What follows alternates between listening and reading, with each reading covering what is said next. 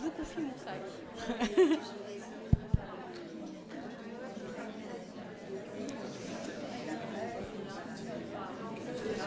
Je commence ça là Oui Ça vous va Pardon Isabelle vous cherchait, mais c'était pour vous dire vous pouvez y aller. Ah d'accord. Eh bien, très bien. Alors, je- Bonjour, euh, bonjour à toutes et à tous. Je suis Annick Lemoine, la directrice du Petit Palais, et je suis extrêmement heureuse ce matin, d'une part, de vous souhaiter la bienvenue euh, au musée, et je me réjouis que le Petit Palais accueille euh, cette deuxième journée d'études sur euh, le thème consacré à, peindre dans les églises parisiennes au XIXe siècle. Je m'en réjouis pour différentes raisons. La première, c'est que je trouve évidemment le sujet particulièrement pertinent et stimulant, à la fois de tirer parti euh, de chantiers achevés ou en cours et d'en tirer les leçons, euh, d'être pragmatique, c'est- euh, euh, important et ça va sans nul doute nourrir euh, à la fois euh, des, réflexions et d'autres recherches, mais aussi de manière très concrète les prochains chantiers. Je salue aussi l'approche, le, fait de croiser les regards d'historiens de l'art, de conservateurs, de restaurateurs. C'est toujours extrêmement euh, intéressant. J'en veux pour preuve d'avoir déjà moi-même pu vérifier cette euh, pertinence et l'utilité de ces regards croisés et de euh, toujours euh, tirer parti de compétences variées. Nous l'avons fait à la Villa Médicis lorsque nous avions lancé des grands chantiers de restauration, d'une part sur les décors de Zucchi et d'autre part sur ceux de Balthus. Et nous avions organisé euh, deux journées d'études exactement sur le, même format. Et ça avait été particulièrement intéressant. Je salue aussi, enfin, dans l'approche, cette volonté de allier à la fois réflexion, recherche et partage de ces recherches, et puis visite euh, sur place, euh, euh, sur site, parce que rien ne remplace bien évidemment, c'est pas vous, je vais le dire, de voir les œuvres et, les chantiers en cours de visu. Malheureusement, je ne pourrais pas faire partie de ces visites, mais on vient de voilà, d'en parler pour organiser quelque chose par la suite. Donc c'est le premier point, c'est la première raison pour laquelle je me réjouis vraiment que le Petit Pa- Palais euh, accueille ce matin euh, votre euh, deuxième journée. La deuxième raison aussi, c'est que je, pense que c'est une façon de valoriser la recherche au musée, et ça me semble un élément extrêmement important, quelque chose qu'il faut défendre et mettre en pratique. Donc euh, sachez que je suis très ouverte à ce type de proposition, et venez nous voir, demandez-nous. L'auditorium est aussi là pour accueillir ce type de journée d'études euh, et pour euh, réaffirmer l'importance de la recherche au musée. Du reste, je suis très heureuse que cette journée d'études ait été l'occasion pour Clara Roca, conservatrice ici au Petit Palais en charge des arts graphiques du 19e siècle et de la photographie, d'avoir pu en raison de euh, cette journée d'études, vous présenter, travailler et vous présenter euh, le, fond important, euh, peut-être pas assez connu, des dessins préparatoires que nous conservons ici. Du reste, puisque vous êtes au Petit Palais, je vous invite aussi, si vous ne l'avez pas déjà fait, d'aller voir alors les deux expositions, mais en particulier Trésor en noir et blanc, puisque cette exposition est consacrée à notre collection d'estampes fabuleuses, et elle a aussi été l'occasion pour euh, leurs commissaires et donc les conservatrices du Petit Palais de travailler sur nos collections et sur l'histoire de la constitution de nos collections. Toujours euh, l'importance de la recherche euh, au musée. Enfin, le troisième point, la troisième raison pour laquelle je me réjouis tout particulièrement euh, euh, que le Petit Palais accueille cette deuxième journée euh, d'études, c'est que ça va être extrêmement intéressant pour nous, puisque nous lançons un chantier très très attendu de restauration, celle de, des fresques du péristyle du jardin, fresques réalisées par Baudouin entre 1909 et 1910. hein, c'est un, élève de Puvis-de-Chavannes et l'un d'eux, l'un de ceux qui a remis euh, à, la page et, et, euh, euh, valorisé et défendu la fresque sur mortier frais.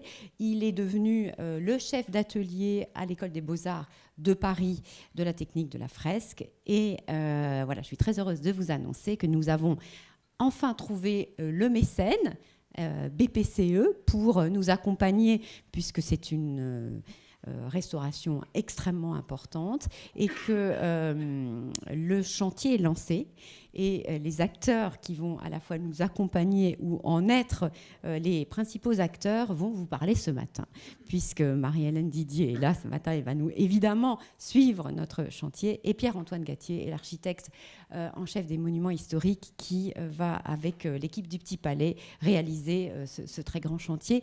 Donc je n'ai nul doute que les résultats de vos deux journées vont, nous, en tous les cas, pouvoir nous éclairer dans la restauration euh, du péristyle qui est à fresque. Euh, voilà. Et on, vous invitera à venir faire une visite de chantier, euh, puisque ça va durer un certain temps pour venir voir sur place si on applique bien les résultats de, votre, de vos journées.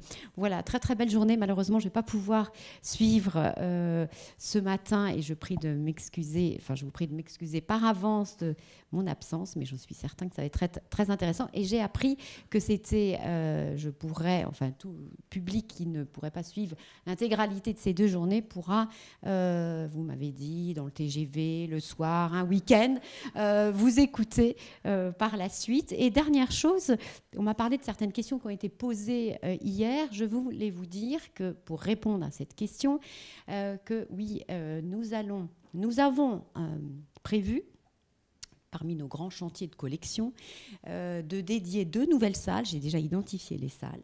Euh, alors, je ne peux pas vous dire dans quel calendrier. Deux salles euh, pour présenter en rotation notre collection exceptionnelle d'art graphique. et donc, on pourra présenter certaines, avec une petite sélection, les dessins préparatoires des églises parisiennes, des décors des églises parisiennes. Ces deux salles seront consacrées aux arts graphiques et à l'actualité. euh, du musée, c'est-à-dire restauration intéressante avec petite exposition dossier ou acquisition euh, qui mériterait une présentation euh, ad hoc. voilà, donc ça va être dans un avenir, j'espère, pas trop lointain.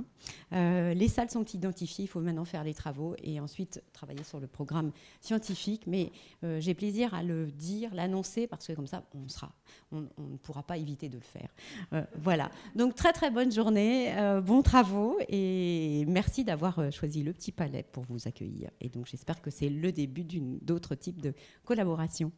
Bonne journée, bons travaux.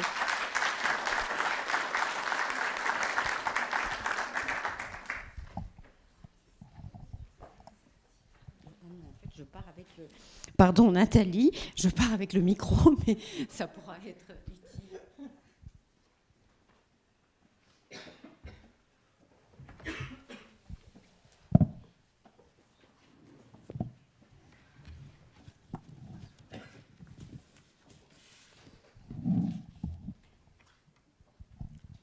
bonjour. Euh, la peinture comme palimpseste, tel est le thème de cette première, euh, de cette première euh, session de, ce matin. Voilà, alors qu'est-ce que ça veut dire? Donc c'est Cesare Brandi qui avait déjà utilisé ce terme de palimpseste à propos du paysage du paysage italien, des valeurs figuratives, je cite son, son terme, des figures italiens, en, considérant que celui-ci était un, incessant, je cite, palimpseste de, cultures archaïques et de désastres séculaires. Ça veut dire que de, ces transformations successives qu'il avait, euh, avait, euh, qu'il avait marquées. Alors l'image était belle et parlante et pouvait s'appliquer aux, vicissitudes d'une œuvre à travers son histoire matérielle, même si le terme de désastre séculaire est vraiment quand même très fort pour qualifier les restaurations euh, du passé. Mais je m'étais permis de reprendre ce terme de palimpseste à propos des restaurations anciennes de la Vénus du Pardo de Titien, euh, qu'on appelle aujourd'hui Jupiter et Antiope. C'était un tableau très très célèbre, à l'histoire très très bien documentée, et qui était devenu véritablement un palimpseste des restaurations successives qu'il avait euh, traversées, qui avaient toutes laissé des traces.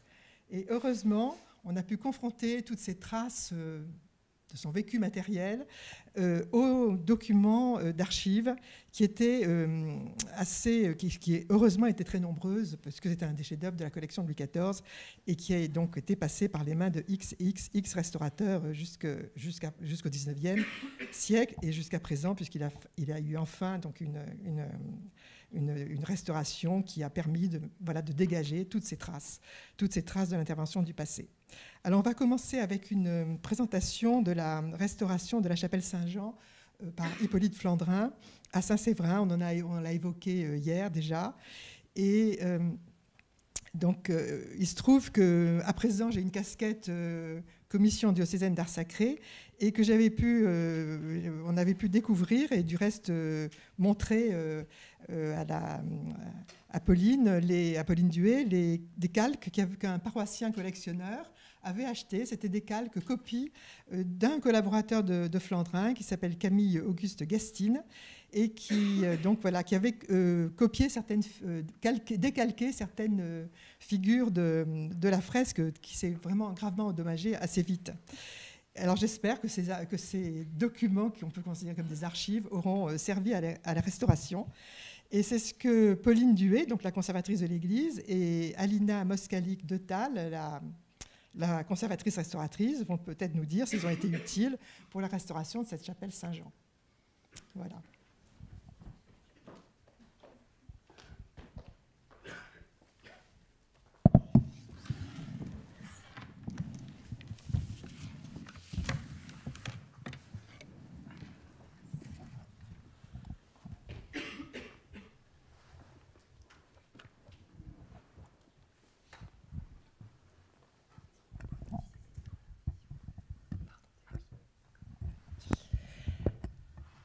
L'église Saint-Séverin est une des plus anciennes de Paris. Elle est située euh, en plein cœur du quartier latin et elle est dotée de nombreuses chapelles aux murs nus, pour la plupart en cette première moitié du XIXe siècle.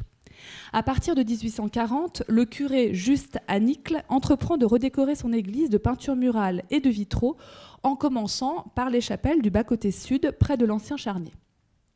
Le département de la Seine passe donc commande au plus grand peintre du temps et choisit en premier lieu Hippolyte Flandrin qui se confronte donc le premier aux murailles de l'église de la chapelle Saint-Jean l'Évangéliste. Suite aux travaux réalisés par le DEC, hein, je salue encore leur travail, donc pour assainir le bas-côté sud, la Coarc a pu entamer à partir de 2020 la restauration de ses décors. Trois chapelles ont d'ores et déjà été restaurées. Je vous les montre rapidement par ordre chronologique. La chapelle Sainte-Geneviève, œuvre d'Alexandre S. La chapelle Saint-Jean, donc œuvre d'Hippolyte Flandrin, dont nous allons parler. Et la chapelle Saint-Séverin, œuvre de Sébastien Cornu.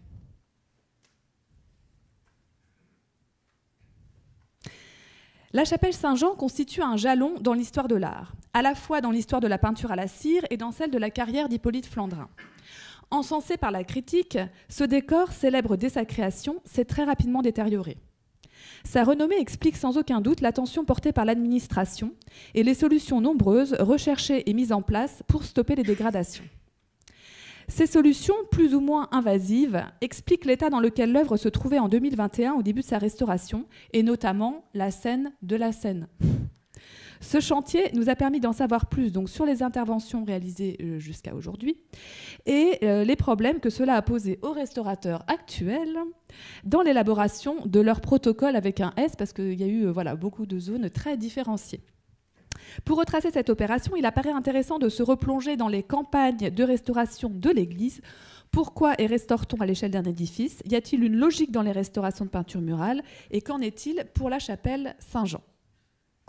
Alors, les causes des altérations, elles sont nombreuses, mais la première, et on le voit ici donc euh, dans la chapelle Saint-Jean, c'est bien sûr les problèmes d'humidité, pas seulement euh, l'eau qui vient euh, des voûtes pour cause de dégradation, mais surtout les remontées capillaires. Donc vous voyez que les parties les plus endommagées en général sont les parties basses, les parties décoratives, mais que ça peut remonter très haut parce que l'eau prend des chemins euh, qu'elle est seule à connaître et en général elle ressort par les joints, hein, ce que vous voyez euh, ici. Il y a une autre cause d'altération, euh, heureusement plus rare, l'incendie. Euh, la chapelle Saint-Charles-Borromée de Jobé-Duval euh, brûle le 1er octobre 1911 à 9h du soir. Et cet incendie est déclenché par des cierges qui accompagnent l'exposition d'un corps. Donc ne reste des décors de Jobé-Duval, dont je vous montre ici des photographies anciennes, uniquement la lunette euh, des vertus théologales. Enfin, il y a aussi des raisons structurelles au bâtiment. Ces chapelles du bas-côté sud ont été subdivisées en deux par des parois très fines. Et donc, effectivement, quand il y a euh, un apport d'eau, euh, bah, la paroi étant euh, vraiment fine, on retrouve ces mêmes dégâts de part et d'autre. Hein. Ça se propage plus facilement. Alors, qui sont les restaurateurs et par qui et comment sont-ils choisis? Alors, au XIXe siècle, au début du XXe siècle, bien sûr, ce qui est privilégié, ce sont euh, des restaurations, des interventions par l'artiste lui-même ou un membre de sa famille ou euh, un autre restaurateur, mais avec l'accord ou la supervision de l'artiste. Donc on a plusieurs cas de figure euh, à Saint-Séverin, trois. On a bien sûr Paul Flandrin, le frère d'Hippolyte, qui va intervenir sur les peintures de son frère, j'y reviendrai plus tard, et que vous voyez ici debout devant son chevalet, la palette à la main. On a aussi une occurrence pour euh, Auguste Leloir à la chapelle Saint-Louis, qui lui va superviser un nettoyage qui ne, sera, pas de sa propre main, mais enfin, euh, les, correspondances nous disent bien que c'est d'accord avec lui et sous sa surveillance. Et puis Charles Mercier, en 1886, intervient sur les peintures de Jobé Duval, mais encore une fois sous la supervision de l'artiste qui était à trois ans de, son, de sa mort, donc on imagine qu'il était vieux et qu'il pouvait plus monter sur les échafaudages pour faire l'intervention. Euh, et là, c'est très intéressant parce qu'il euh, y a des précisions sur le nettoyage de ces peintures qui devra être fait dans les conditions les plus simples, donc sans aucune restauration, ainsi que Jobé l'a exposé dans une note. Essuyer tout d'abord tous les champignons avec un vieux linge propre. Cela fait, imbiber légèrement d'essence et d'un peu de cire, autrement dit d'un encaustique très liquide, un linge propre et sur toutes les parties atteintes par les champignons, tamponner de façon à faire disparaître toute trace se garder surtout de frotter avec le linge, sous peine de changer complètement la qualité de la peinture à la cire. En 1913, le fils de Jobé Duval euh, va lui aussi intervenir et on voit le souci, la déontologie de la restauration est déjà bien sûr extrêmement présente, le souci de fidélité, puisqu'il va travailler à l'aide des photographies et des dessins qu'il possède de son père. Il reconstituera la composition avec fidélité et repeindra les parties manquantes en reprenant les tons des parties qui subsistent. Alors, on a une autre solution aussi euh, qui, euh, euh, qui, qui, qui est choisie quand les, fresques notamment, mais aussi les peintures se dégradent, c'est de faire des copies sur toile. C'est le cas pour les fresques de Victor Motez à la chapelle Saint-François. En 1870, l'administration lui demande une copie. Ce sera aussi le cas d'ailleurs pour Flandrin, on y reverra. Et donc, je vous ai fait une petite euh, cartographie euh, des restaurations au XIXe siècle. Vous voyez qu'elles ne sont pas encore très nombreuses, qu'elles concernent plutôt le bas-côté nord. Bon, c'est normalement le plus humide, euh, notamment les fresques de Victor Motez, mais on a vu que ces fresques, de toute façon, n'ont pas tenu dans aucun des monuments dans lesquels il est intervenu. et par contre, on va le voir ensuite, au XXe siècle, là, on a une multiplication des interventions. Alors, à l'exception notable du déambulatoire, à peu près. Alors, ces, euh, ces, restaurateurs sont choisis par arrêté de, la préfecture de la Seine. Alors, ce ne, sont pas obligatoirement des spécialistes de peinture murale, ce sont plutôt des spécialistes de peinture de chevalet d'ailleurs. Là, je vous renvoie vraiment, hein, c'est ma Bible, euh, au dictionnaire euh, des, historiques des restaurateurs dirigé par Nathalie Voll et ses collègues Madame Lovic et Madame Kabilik. mais c'est très intéressant de voir que dans une note de renseignement pour Monsieur Masson, qui était l'inspecteur inspecteur général des beaux-arts, donc en 1941, on voit un petit peu l'évolution euh, de ces métiers de restauration euh, en peinture murale. Je cite Jadis, un seul artiste était admis à restaurer les peintures décorant les édifices religieux. Monsieur Ferrérol, donc qui était le chef du service de la direction des beaux-arts en 1941, euh, Monsieur Ferréol est parvenu non sans peine à élargir le cercle et à son départ, sept ou huit restaurateurs se partageaient les commandes. Nous continuons plus que jamais cette tactique et depuis votre règne, donc à M. Masson, une vingtaine de nouveaux collaborent à notre programme de grands travaux. Voilà. Donc on voit qu'effectivement, l'équipe s'étoffe parce que le travail est considérable. Dans les années 1920-1930, euh, on a bien sûr l'intervention de notre cher Alfred Bellum, hein, on l'a vu, qui intervient à peu près dans, toutes les églises parisiennes et qui en général euh, laisse euh, notamment son fameux vernis dont on parlera à Lina. Et euh, on a aussi une, campagne euh, qui est déclenchée dans les années 30 à la suite du crash boursier de 29, donc il y a une crise économique en France, et les artistes n'ont plus de travail et on veut leur redonner du travail. Et donc un décret de la ville de Paris autorise à contracter un emprunt de 10 millions euh, pour pourvenir à l'aide de l'artisanat artistique et aux artistes. Et c'est dans ce cadre que Pierre Martin intervient en 1934 à Saint-Séverin.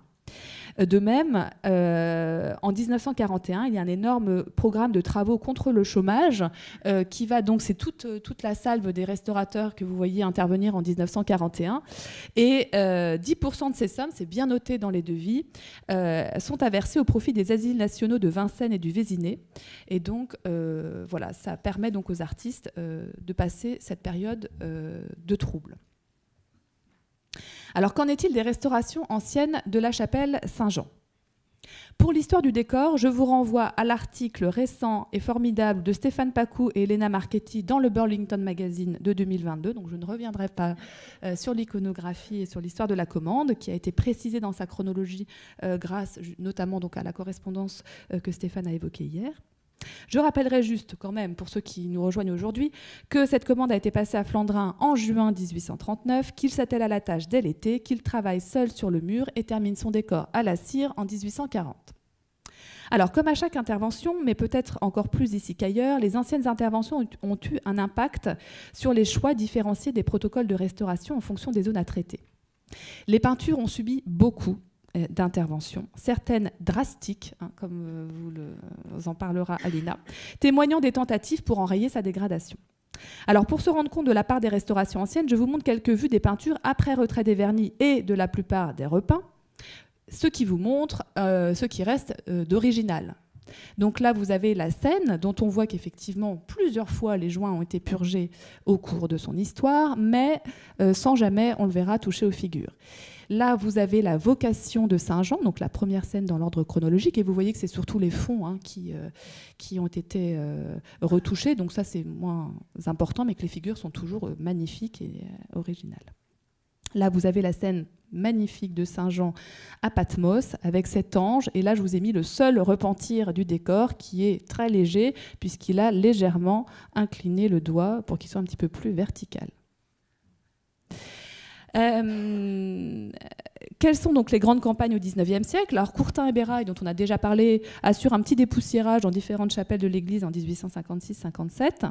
Et puis, on l'a dit, et Nathalie l'a rappelé, euh, moins de 20 ans après la réalisation de l'œuvre, le 11 juin 1859, on a une demande du préfet de la Seine à Hippolyte Flandrin d'exécuter une copie sur toile de euh, son œuvre pour 1776 francs. je ne parlerai pas des coûts, mais je reparlerai plus à l'écrit dans, dans, les actes des colloques. Euh, donc pour qu'il réalise cette, cette copie. Euh, dans les faits, euh, d'autres noms apparaissent que Flandrin, qui meurt du, coup en 1864. Euh, et cette copie, elle a été réalisée sûrement donc avec la collaboration de Camille Auguste Gastine, dont je vous montre effectivement ici les calques qui sont conservés dans l'église. Enfin non, maintenant aux archives du diocèse, pardon, on les a versés aux archives du diocèse. Une fois qu'on a vu leur état, effectivement, ils étaient beaucoup mieux aux archives du diocèse. Et donc on a pu voir, donc ils sont sublimes. Et c'est à la mine de plomb, donc sur papier calque et euh, je vous cite euh, la correspondance de Gastine euh, qui dit Cette peinture originale avait été exécutée à l'huile sur le mur, et le mur ayant été mal préparé, la peinture est une ruine. C'est pourquoi l'on me charge d'en faire la copie pour substituer l'original qui serait détruit. Et surtout, en le 8 juin 1861, il écrit Monsieur Flandrin vient à Saint-Séverin voir ma copie et il en paraît content. Il est effrayé de la dégradation de l'original et tente de plus en plus à la parfaite exécution de la copie. Alors Paul intervient aussi euh, dans cette réalisation et on sait que cette copie, en 1872, donc, euh, est transférée euh, dans une église et déposée à l'église de Chevilly-la-Rue euh, c'est dans l'inventaire chèque ce qu'on lit cette mention. Et donc j'ai appelé, euh, appelé les archives et, la paroisse. On voit en 1905 dans l'inventaire de l'église sous le numéro 26 un tableau de la Seine donné par la, par la préfecture de la Seine en 1872, donc il s'agit de notre tableau. Mais c'est la dernière mention euh, qu'on ait de ce tableau en 1905. Il a pour l'instant disparu. Alors Paul intervient aussi euh, pour, euh, pour restaurer. On lui demande quand même d'essayer de, faire quelque chose euh, pour l'œuvre de son frère. Et là encore, dans un souci de fidélité, il note bien qu'il ne veut surtout pas toucher aux figures et qu'il s'occupera uniquement de, l'arrière-plan pour, voilà, pour ne pas intervenir trop sur, sur l'œuvre de son frère.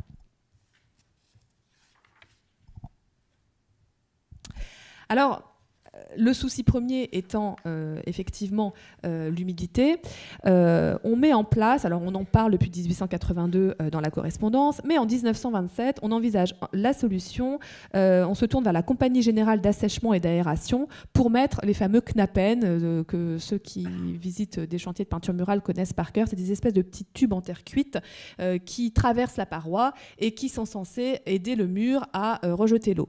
Alors comme vous voyez par contre, bon, Là, ils en ont mis beaucoup. Hein. Euh, c'est grevé donc, sur les côtés de Knappen, dont on sait maintenant que ça n'a pas servi euh, à grand-chose. Euh, Alfred Bellon intervient donc en 1928. Euh, on le reverra. Et la dernière grande intervention avant celle d'Alina et son équipe, c'est celle de Claire Brochu en 1984, mais qui avait laissé encore les joints tels quels, puisqu'on n'avait toujours pas trouvé la solution de la cause des remontées capillaires. Donc on avait décidé, Georges Brunel à l'époque, d'ailleurs avec raison, de ne pas entamer cette restauration tant que le problème d'humidité ne serait pas résolu. Je laisse maintenant la parole à Alina qui va vous expliquer en détail cette restauration. Si tu veux, oui, si tu veux, ce sera plus simple. Merci.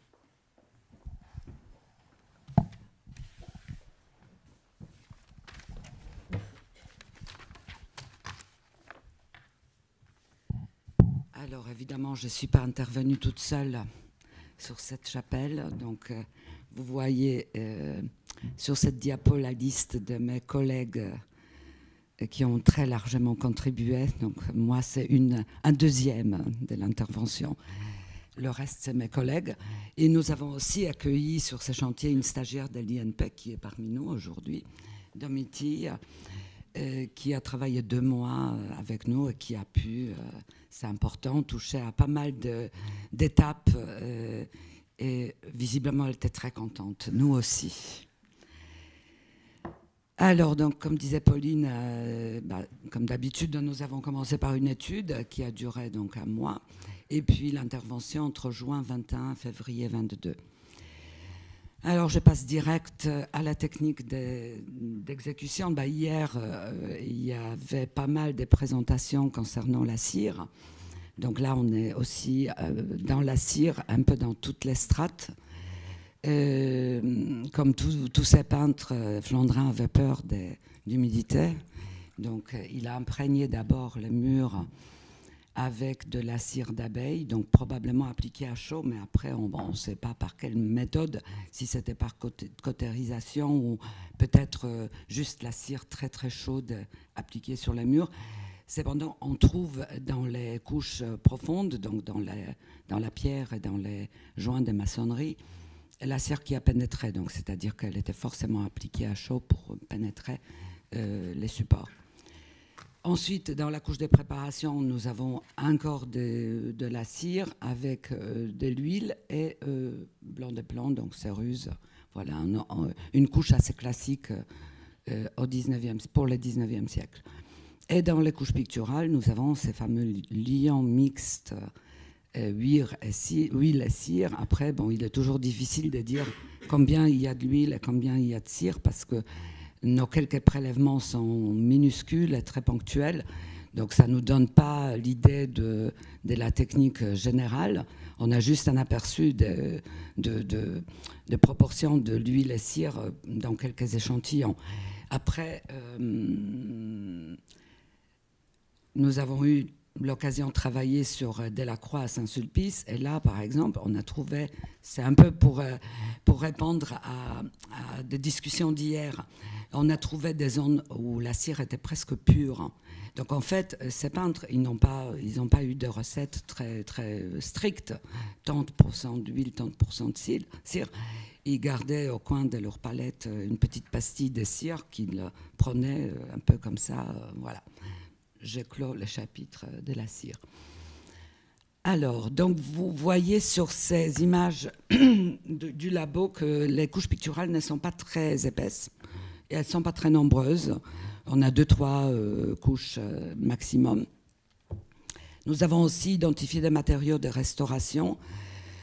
Donc 1984, bah, c'est très classique, euh, Primal AC33 pour les fixatifs et pour les vernis, les paraloïdes B72 appliqués en une couche intermédiaire euh, à 5% et trois couches finales, donc épais, hein, pas mal, 5% de concentration.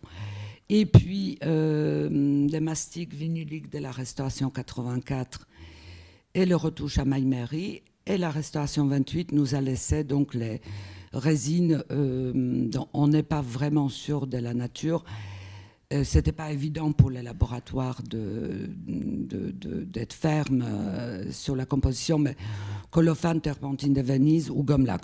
Moi, je pense que peut-être la gomme lac quand même, parce que ça nous a posé quelques soucis pour l'enlever. on sait bien que la gomme lac, euh, c'est compliqué à retirer.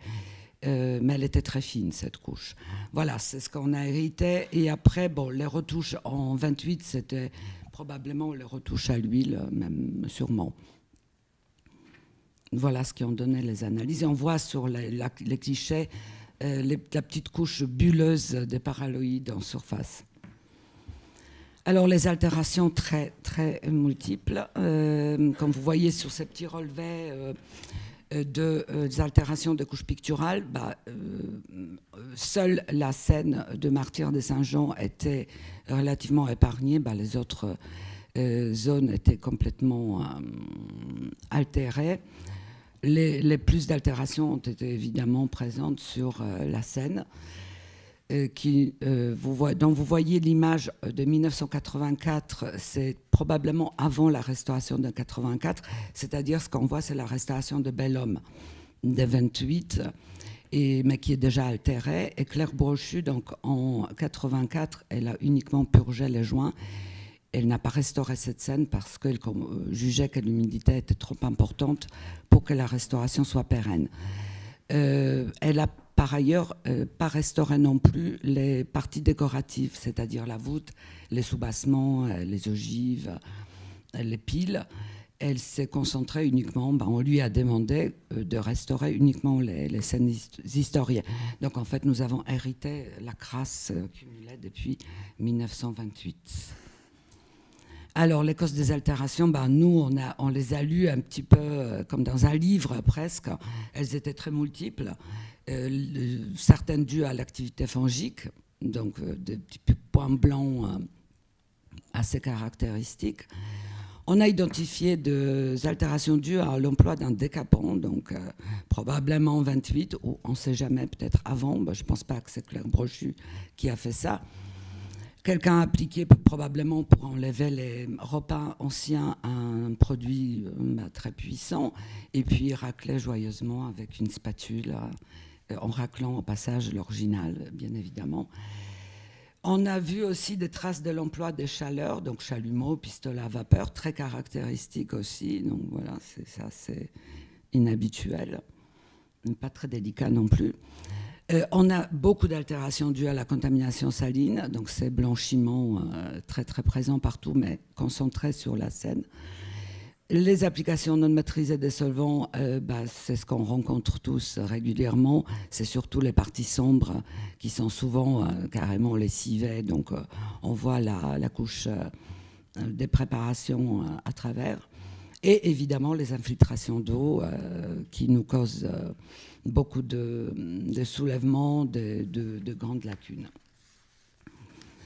Donc nous avons fait euh, les suivis de l'évolution des ténors en eau. On avait de la chance de travailler dans la chapelle à côté, donc au revers de, la Seine, sur Alexandre S.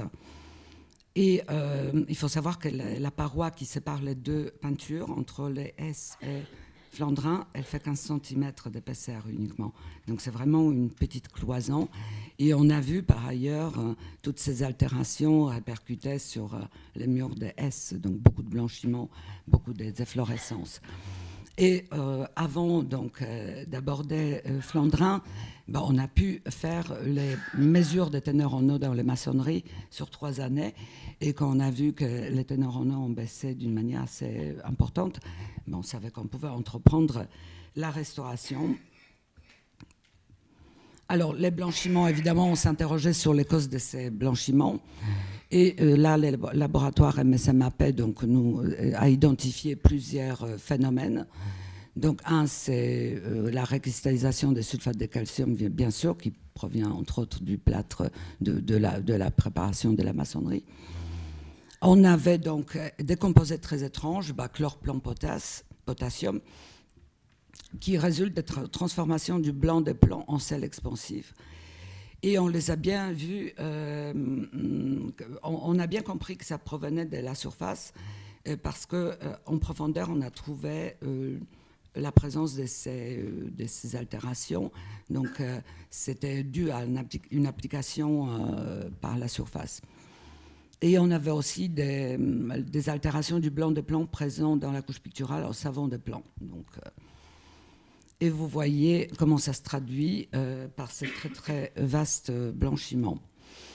Alors, à quoi c'était dû? Donc, on a cherché, on s'interrogeait. Donc, les potassiums peut-être euh, dû à l'emploi d'une lessive de potasse, dont on sait qu'on l'utilisait pour euh, nettoyer des surfaces. Les chlores, euh, probablement introduits par l'utilisation d'acide chlorhydrique ou bien l'eau de javel, donc soit pour nettoyer les salpêtres, soit pour nettoyer les, traiter les contaminations fongiques.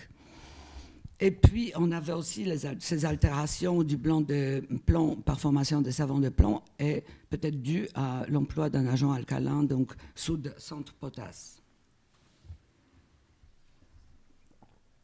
Sur les petites images, vous voyez donc euh, euh, sur l'image de gauche, on voit la couche picturale donc brune qui est fortement altérée, donc qui est très lacunaire, due à cette action de, ces produits. On voit sur l'image du centre les fractures, les fissures qui, qui, descendent profondément dans les couches. Et en fluo bleu, les chlores, qui a causé donc, qui était identifié dans les couches profondes. Et sur les pics, on voit très bien les très grands pics des plomb et de chlore.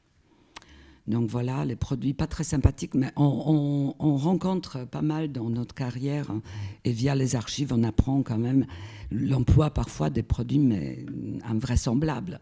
Récemment, j'ai lu euh, euh, les traitements de les consolidations de décollement du support avec euh, par l'injection de Sindou. C'est incroyable. Et c'était vraiment, les peintres, les, restaurateurs étaient plutôt fiers. Mais bon, peut-être ça marchait, j'ai jamais essayé, mais si vous voulez. Alors, donc, très rapidement, notre intervention, euh, donc j'énumère toutes les étapes qui sont bien classiques, mais ce qu'il faut regarder, qu'en fait, on est intervenu strate par strate, c'est-à-dire vraiment bon, dépoussiérage, ok, décrassage, donc on enlève que la crasse, après on, on élimine les vernis de 84, puis celui de 28, et puis euh, les blanchiments, etc. Donc chaque, chaque passage de gel, c'est une autre strate euh, qui est éliminée. Vous allez voir sur quelques images.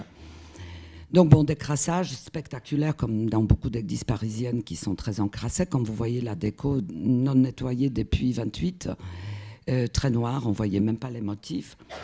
Donc euh, c'est toujours très spectaculaire. Après, donc on élimine les vernis de 84 et au passage on a éliminé les, retouches qui étaient bien, mais on ne pouvait pas les dissocier parce que de toute façon elles étaient un peu, euh, un peu transformées chromatiquement, donc c'était pas très accordé 40 euh, ans après. Donc on les a éliminées. Et puis, on est tombé sur ces vernis de 1928, peut-être la gomme lac. Donc, vous voyez très bien ici euh, toutes ces strates euh, qui, chaque strate transforme chromatiquement la couleur. Donc en fait, les, ciels est bleu, c'est très spectaculaire sur les ciels, qui doit être très bleu, mais finalement, à un moment donné, il est jaune, après il devient sombre. Donc euh, on élimine, on pèle en fait euh, toutes ces couches, strate par strate. Et ces vernis de 1928 étaient très jaunes. Bah, ça fait même un, peu orangé, donc euh, comme là que ça, correspond. Alors, blanchiment, on les a éliminés. Bon, je n'ai pas fait les attendez, je vous dirai donc les gels. Les décrassages, c'est avec un gel à base de la xanthane. Alors, euh, pour les vernis de 84 et le retouche, c'était un gel siliconé à base de Velvesil Plus. Pour les vernis de 28, on a formulé un gel euh, à base de pamulène, sans même euh, solvant, juste pamulène légèrement basique. Et les blanchiments étaient éliminés, encore une autre formule à base de xanthane de nouveau. Évidemment, là où il y avait des blanchiments, la couche picturale a été déjà très très lacunaire, ce qu'on voyait sur les clichés du laboratoire. Mais bon, euh, on a quand même sauvé pas mal de, fait apparaître pas mal de, de peintures originales que vous voyez quand même très très abrasées. Alors, un petit, une petite diapo pour montrer quelques repeints. Euh, bon, par exemple, les petites colonnettes étaient repeintes en rouge, mais en réalité, elles étaient claires avec un petit filet vert. Euh, des vilains repeints euh, sur la voûte. bon, c'était éliminé. Puis colmatage des lacunes comme d'habitude, avec un enduit minéral. Et puis la retouche, nous avons opté pour une retouche pointilliste parce que ça s'adaptait assez bien pour la couche relativement abrasée. Euh, donc, en fait, vous voyez des premières trames, les premières trames de, petits points euh, qui ont été resserrées de plus en plus jusqu'à disparaître, donc lisibles de près, pas lisibles de loin. Et vous voyez euh, mes collègues en train de retoucher. Parfois, on est un peu serré parce que nous avons terminé le soubassement après l'enlèvement d'échafaudage et notre euh, jeune stagiaire qui, euh, qui prend un énorme plaisir à, faire la dorure. Alors, euh, je tiens à remercier Stéphane Pacou et Naomi Bisping du Musée des Beaux-Arts de, de, Lyon qui nous ont donné un, une très belle collection de dessins préparatoires et des esquisses et qui nous ont été fortement utiles, pour, surtout pour les reconstitutions de draperies. Euh, on aurait été amené à improviser peut-être un peu ce qu'on n'aime pas tous. Donc on avait des très beaux dessins. Et parfois c'était euh, c'était pas très fidèle, mais on a retrouvé quelques-uns qui étaient vraiment fidèles à l'original. Bon, quelques images avant-après, donc le mur sud avec euh, la, baie, la voûte, les, deux murs. Et je vous remercie.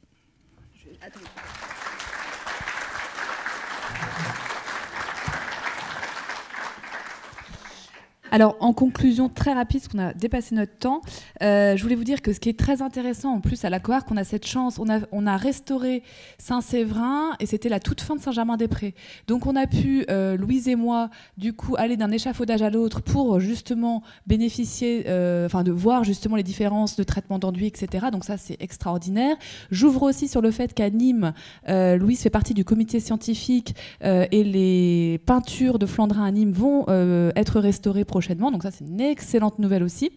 Et enfin, toujours pour faire un petit coup de pub, les prochaines restaurations donc à Saint-Séverin. Cette année, nous allons restaurer la chapelle Saint-Joseph, donc due à Joseph Signol, et une deuxième chapelle suivra grâce au fameux BPP. Donc deux nouvelles chapelles que vous pourrez voir, euh, disons début 2025. Voilà. Je vous remercie. Je remercie Alina aussi pour son intervention. Merci.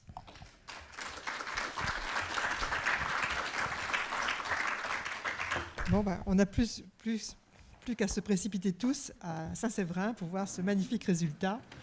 Parce que pour avoir vu les fresques avant, enfin les peintures avant, euh, on ne peut que saluer le travail euh, des restaurateurs et, de la coarque. Alors maintenant, j'appelle euh, Charlotte Laurence de, Varu et Mélinée Miguirtidjian qui vont nous parler d'une autre chapelle à Saint-Sulpice d'Auguste Vinchon, qui est, en cours de, qui est en cours de restauration. Alors, le, euh, Charlotte Laurence de Varu est doctorante à l'Université de Paris 1. Elle s'est courageusement engagée dans une monographie, ce qui, j'ai découvert hier, n'est plus du tout à la mode parmi les étudiants. J'apprends ça aussi. Une monographie sur ce peintre Auguste Vachon. Mais c'est très très important de commencer. Voilà, la monographie, c'est un outil indispensable pour ensuite euh, élargir. Les débats et, les, et, voilà, et, les, et, la vision, disons, pour, euh, pour euh, vraiment connaître la, peinture d'une époque, il faut commencer par avoir des monographies de, des peintres actifs à cette époque-là. Voilà. Donc, euh, alors la fresque, ça a toujours été le mirage des artistes, des peintres français, depuis les, voilà, les réalisations de Rousseau et Primatis à Fontainebleau, les artistes sont, beaucoup de peintres se sont essayés à la fresque. Alors il n'y en a qu'un finalement qui a, toujours euh, qui, a, réussi, c'est Pierre Mignard à la coupole du Val-de-Grâce, qui lui a réalisé une vraie fresque. Et en France, on dit fresque, mais en fait, la vraie fresque, il y en a très très peu. pour l'Ancien Régime, c'est celle de Pierre Mignard. Donc j'ai appris là que en 1900, euh, donc il y avait une, vraie fresque aussi euh, dans le péristyle du Petit Palais. Ça va être vraiment une découverte. Et là, on va, Charlotte va nous parler des vicissitudes de Vachon dans cette commande à Saint-Sulpice qui était euh, au départ, euh, c'était des commandes de fresques. On avait passé euh, entre 1822 et 1824 à Abel de Pujol, Guillemot et Auguste Vachon, qui étaient des artistes qui revenaient de Rome, qui se sont essayés à la fresque avec les résultats que Charlotte va nous expliquer. Bonjour à tous. Effectivement, euh, Vinchon s'essaye à, la fresque, mais jusqu'aux récentes découvertes de Méliné, j'étais persuadée que ça restait encore une fresque. Jusqu'à ce que j'apprenne quand même que le moine dans la chapelle de la Vierge, euh, c'est pas tout à fait une fresque. Donc ça m'a redonné un peu de baume au cœur en me disant que Vinchon n'était pas euh, non plus un peintre, euh, était vraiment un peintre à, reconsidérer et c'était pas le seul à avoir eu autant de mal à réaliser cette fresque. Donc je vais continuer de reprendre ces termes euh, de fresque. Donc euh, affinera euh, donc ce terme, ce terme emprunté par Vinchon. Donc qui est Auguste Vinchon? Donc, il naît en 1786 à Paris. Il est le fils d'un procureur du roi et d'une mère issue d'une famille de riches industriels. Il est euh, très jeune encouragé par ses parents à devenir peintre euh, dès l'âge de 16 ans. Et pendant quelques années, il bénéficie de l'enseignement d'un certain Charles-Antoine Gentot, euh, totalement inconnu aujourd'hui. On connaît juste cette mention un, dans une marge d'un de ses dessins de très jeunes garçons. en 1805, donc il commence véritablement son apprentissage en entrant dans l'atelier d'un Italien euh, d'un peintre italien venu à Paris pour entrer dans l'atelier de David, qui est Gioacchino Giuseppe Serangeli.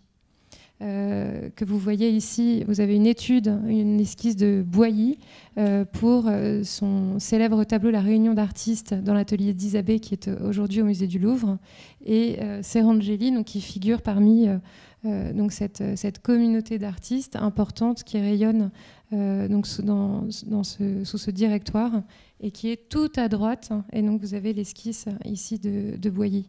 Et euh, je vous mets euh, le portrait que Serangeli a fait de son jeune, euh, jeune apprenti, de, son jeune, de ce jeune peintre Vinchon, dès son entrée donc, dans, dans, son atelier en 1805.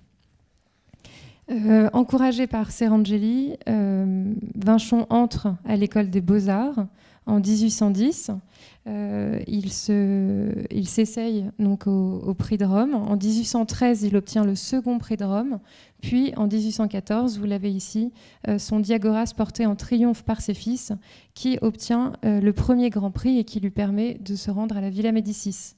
Il va devoir tout de même patienter quelques années. la France traverse des bouleversements politiques que vous connaissez et que vous pouvez imaginer il est inimaginable pour un jeune artiste euh, de se rendre euh, à Rome à ce moment-là. Donc il doit attendre 1816 pour rejoindre la Villa Médicis sous la direction de Charles Thévenin. Euh, Rome devient pour lui un, lieu d'apprentissage, d'expérimentation et de découverte de l'amitié. Il y retrouve Allo, Michalon, Cognier, Drolling ou encore David d'Angers, sans oublier Géricault, avec qui il voyage pendant plusieurs mois jusque dans le sud de l'Italie. Et donc, euh, on a retrouvé un, portrait que Géricault a fait de Vinchon, lors de, qui est conservé un, petit carnet de croquis de Géricault qui est conservé à Zurich. et donc Géricault qui attrape donc, le profil de cet ami Vinchon. Donc, il, travaille, il, il, voyage tous les deux avec l'architecte Détouche, qui est aussi pensionnaire à ce moment-là à la Villa Médicis, dont Ingres, d'ailleurs, aura fait des portraits absolument merveilleux. Et pour en avoir discuté avec un spécialiste de Géricault, je reprends ces termes, hein, je le cite. Euh, dites-vous bien que si Géricault voyage avec Vinchon, c'est que Vinchon n'est vraiment pas un tocard. Euh, et après, euh, il rencontre une autre personnalité aussi très importante, qui est encore à Rome à ce moment-là, qui reste encore plusieurs années. Il est plus pensionnaire depuis longtemps. C'est Ingres. Parce qu'effectivement, en 1817-1818, Vinchon va participer avec trois autres pensionnaires au grand chantier de restauration de l'église de la Trinité des Monts, qui est commandé par le duc de Blacas, qui est alors euh, ambassadeur de France près du Saint-Siège.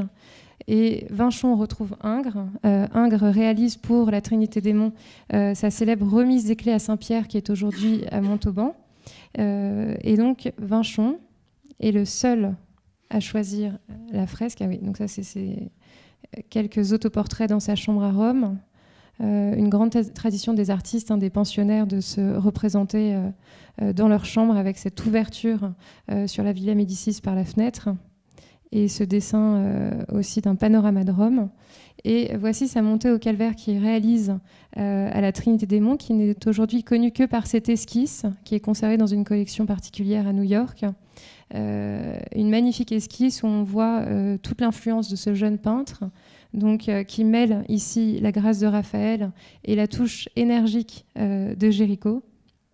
Et euh, cette célèbre fresque, enfin cette célèbre fresque, cette fresque avait été réalisée en face de la descente de croix de Volterra, donc dans une des chapelles. Et elle a été malheureusement rebadigeonnée, parce que la communauté religieuse, je crois que c'est les Sœurs du Sacré-Cœur, dès 1830, fait appel aux Nazaréens, dont on a parlé hier, et euh, la fresque du coup de, Vinchon est euh, cachée euh, sous, ces, fresques des Nazaréens. Donc c'est bien le seul de ces pensionnaires à s'attaquer à l'art de la fresque. et il, le dit qu'il a consacré trois années aussi dispendieuses que laborieuses et qu'il s'applique à, essayer de faire revivre cette technique que le gouvernement français souhaite remettre à l'honneur. Le retour de Vinchon à Paris est soigneusement préparé par sa mère, qui lui écrit Je te ménage des connaissances qui te seront très utiles, qui sont attachées à la maison du roi. Monsieur de Pradel, ministre de la maison du roi. Monsieur Forbin, enfin tu auras ici tout ce que tu pourras désirer si tu ne laisses rien à regretter à Rome. Tu seras ici l'être le plus heureux, tous tes amis te tendent les bras et te désirent. Donc Vinchon se présente au comte de Pradel, donc directeur général de la Maison du Roi, avec une lettre écrite par Thévenin qui met en avant les études menées par son pensionnaire. Thévenin écrit à Pradel Je pense donc, monsieur le comte, que personne ne peut aussi bien que lui remplir l'heureuse idée que vous avez conçue de faire revivre en France le genre de peinture le plus propre à orner les grands monuments et la demeure de nos rois. C'est ainsi que, sous l'impulsion de Pradel, le préfet de la Seine, le préfet Chabrol, confie à Vinchon de grands travaux à fresques. Et Vinchon écrit de Chabrol Je trouvais dans cet administrateur la bienveillance que tous les artistes ont reconnue en lui. Il me laissa le choix de l'Église et me témoigna le vif désir qu'il avait de voir la fresque renaître en France. Le cycle de la chapelle Saint-Maurice à Saint-Sulpice marque le début de la carrière officielle de Vinchon. Sous l'impulsion du préfet Chabrol, une ambitieuse politique de commande est en effet menée à Paris pour effacer les saccages de la Révolution française dans les églises parisiennes. Et l'Église mène en parallèle une réflexion sur ce que doit être la régénération de l'art chrétien. Certains regrettent alors que la fresque ait été abandonnée.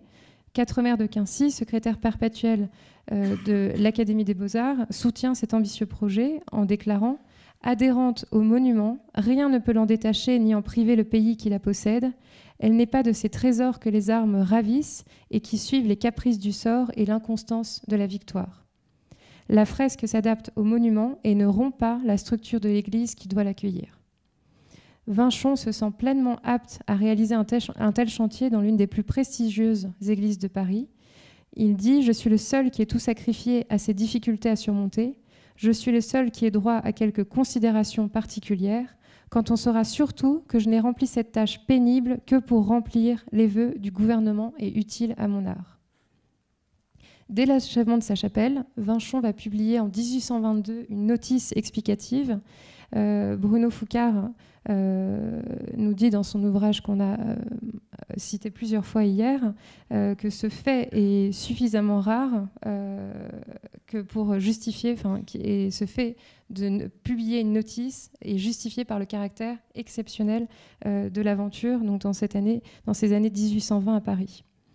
Cette notice représente pour nous une précieuse source d'archives, même si euh, Vinchon va tout de même idéaliser euh, ce chantier euh, et cette aventure de Saint-Sulpice et va taire toutes les difficultés qu'il va rencontrer. Et dans cette notice, il présente à son lecteur tous les avantages de la fresque, tels sa durabilité, son fini précieux, mais aussi sa capacité à retranscrire au mieux l'inspiration de l'artiste. Il rappelle cependant que cette peinture exige une grande habitude et requiert un artiste de talent capable de compositions gigantesques à exécuter rapidement. Peu d'artistes, même en Italie, savent encore peindre à fresque et Vinchon, euh, dans plusieurs lettres, se plaint régulièrement qu'aucun artiste italien ne partage le secret de la fresque avec lui. Donc il raconte euh, vraiment qu'il se présente comme un artiste autodidacte euh, et qui oui, qui, va essayer de, percer le secret, mais qui n'y parvient pas tout à fait. Euh, la chapelle donc, est dédiée au culte de Saint Maurice, chef de la légion thébaine, qui vers 286 euh, refusa de sacrifier aux idoles et de marcher contre Genève, colonie chrétienne. Vinchon exalte le sentiment chrétien qui anime Saint Maurice et ses compagnons, et le musée des beaux-arts de Tours, source précieuse également pour compléter cette notice et les quelques essais de traités et de correspondance que Vinchon nous a laissés, euh, le musée des beaux-arts de Tours conserve une soixantaine de dessins préparatoires qui mettent en avant le processus créatif de Vinchon, mais aussi l'éclectisme et les libertés qu'il s'autorise vis-à-vis du sujet fixé par la tradition. Euh, Vinchon va prendre effectivement plusieurs libertés quant à la représentation de ce martyr de Saint-Maurice, notamment euh, la représentation du visage. Vous avez Saint-Maurice au centre. Euh, donc, Saint-Maurice venait de Haute-Égypte, et donc pendant, euh, si vous comparez un petit peu l'iconographie de ce martyr de Saint-Maurice, on représente souvent Saint-Maurice avec le visage plus basané, avec pas une peau blanche comme elle apparaît ici aucune explication euh, chez Vinchon euh, par rapport à ces libertés qu'il peut prendre dans, euh, cette représentation de ce martyr. mais effectivement, une histoire, une historicité de ces récits qui reste aujourd'hui encore largement discutée. Vous avez eu un colloque qui a eu lieu à Fribourg sur toute l'histoire de Saint-Maurice. Je viens de le découvrir, qu'il y avait eu un colloque pendant plusieurs jours. Donc je n'ai pas encore épluché, mais effectivement, euh, l'historicité de ces récits reste effectivement encore largement discutée, parce qu'on parle de 6000 personnes qui auraient été martyrisées et exécutées sous les ordres euh, de Dioclétien et Maximien, donc près de cette ville de Saint-Maurice. Euh, mais même Vinchon, effectivement, s'introduit dans ce, dans ce débat et prend des libertés dans sa représentation. Donc ici, vous avez le mur de droite, donc euh, évidemment avant euh, restauration euh, de l'équipe de Méliné. donc ce mur de droite qui représente Saint Maurice refusant de sacrifier aux idoles. Donc la scène a lieu dans la ville d'Octodouros, l'actuelle Martigny. Saint Maurice repousse d'une main, on ne le voit pas très bien parce que c'est vraiment une vue d'ensemble et la peinture était dans un état catastrophique. Donc Saint Maurice repousse d'une main la patère que lui tend un grand prêtre et empêche de l'autre main Saint Candide, qui était juste à sa droite, de tirer l'épée de son fourreau, euh, alors que Saint Exupère, le troisième euh, très proche de Saint Maurice, implore l'aide divine.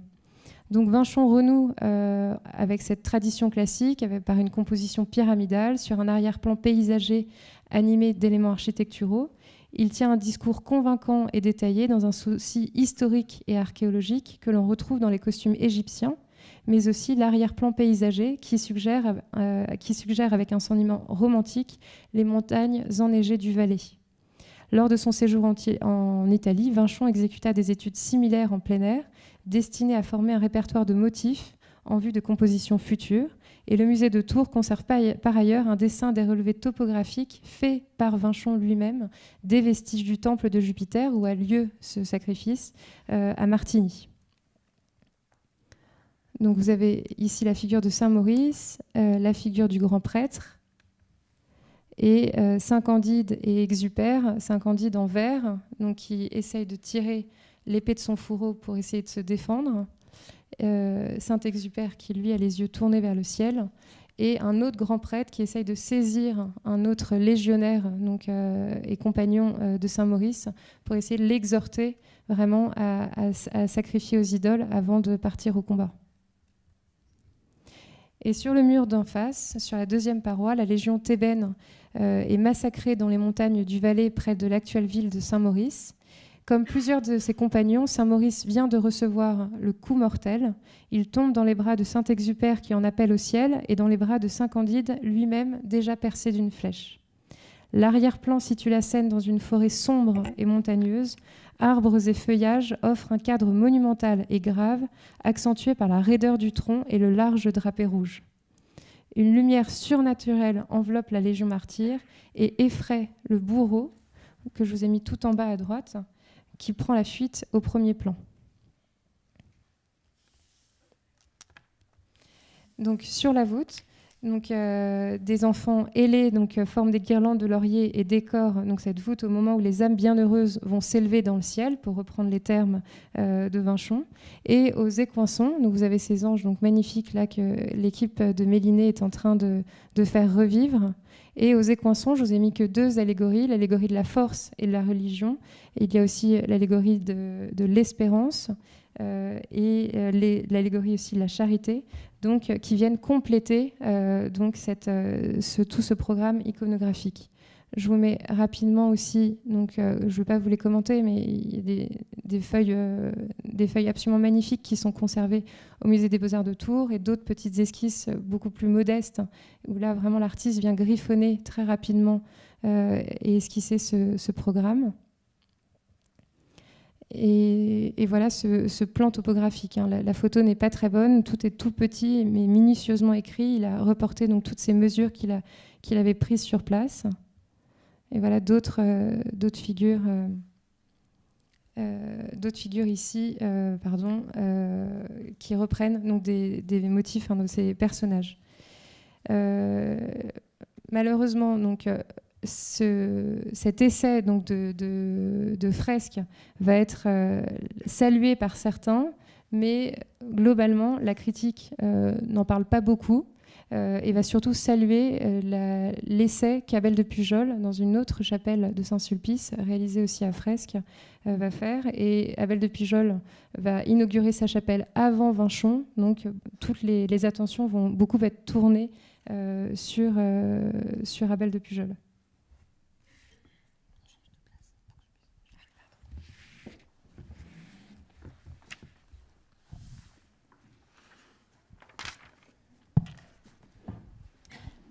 Alors comme euh, voilà, euh, Charlotte vous l'expliquait, donc euh, Vinchon reçoit une commande pour peindre à fresque, il publie une notice où il dit qu'il a peint à fresque, donc on s'attend à découvrir une, fresque. Et en fait, voilà, nos observations vont nous amener vers d'autres d'autres conclusions, et donc je vais voilà, je vais essayer de vous retracer dans les grandes lignes notre notre cheminement. Donc au début, on pense vraiment qu'il y a une, une, volonté de peindre à fresque parce qu'on trouve des, des giornata je rappelle rapidement ce que c'est. Donc, la fresque, en fait, on doit, l'artiste doit peindre dans un enduit frais. Donc ça veut dire que dans la journée, il peint juste, il met juste son enduit sur la zone qu'il estime peindre dans la journée.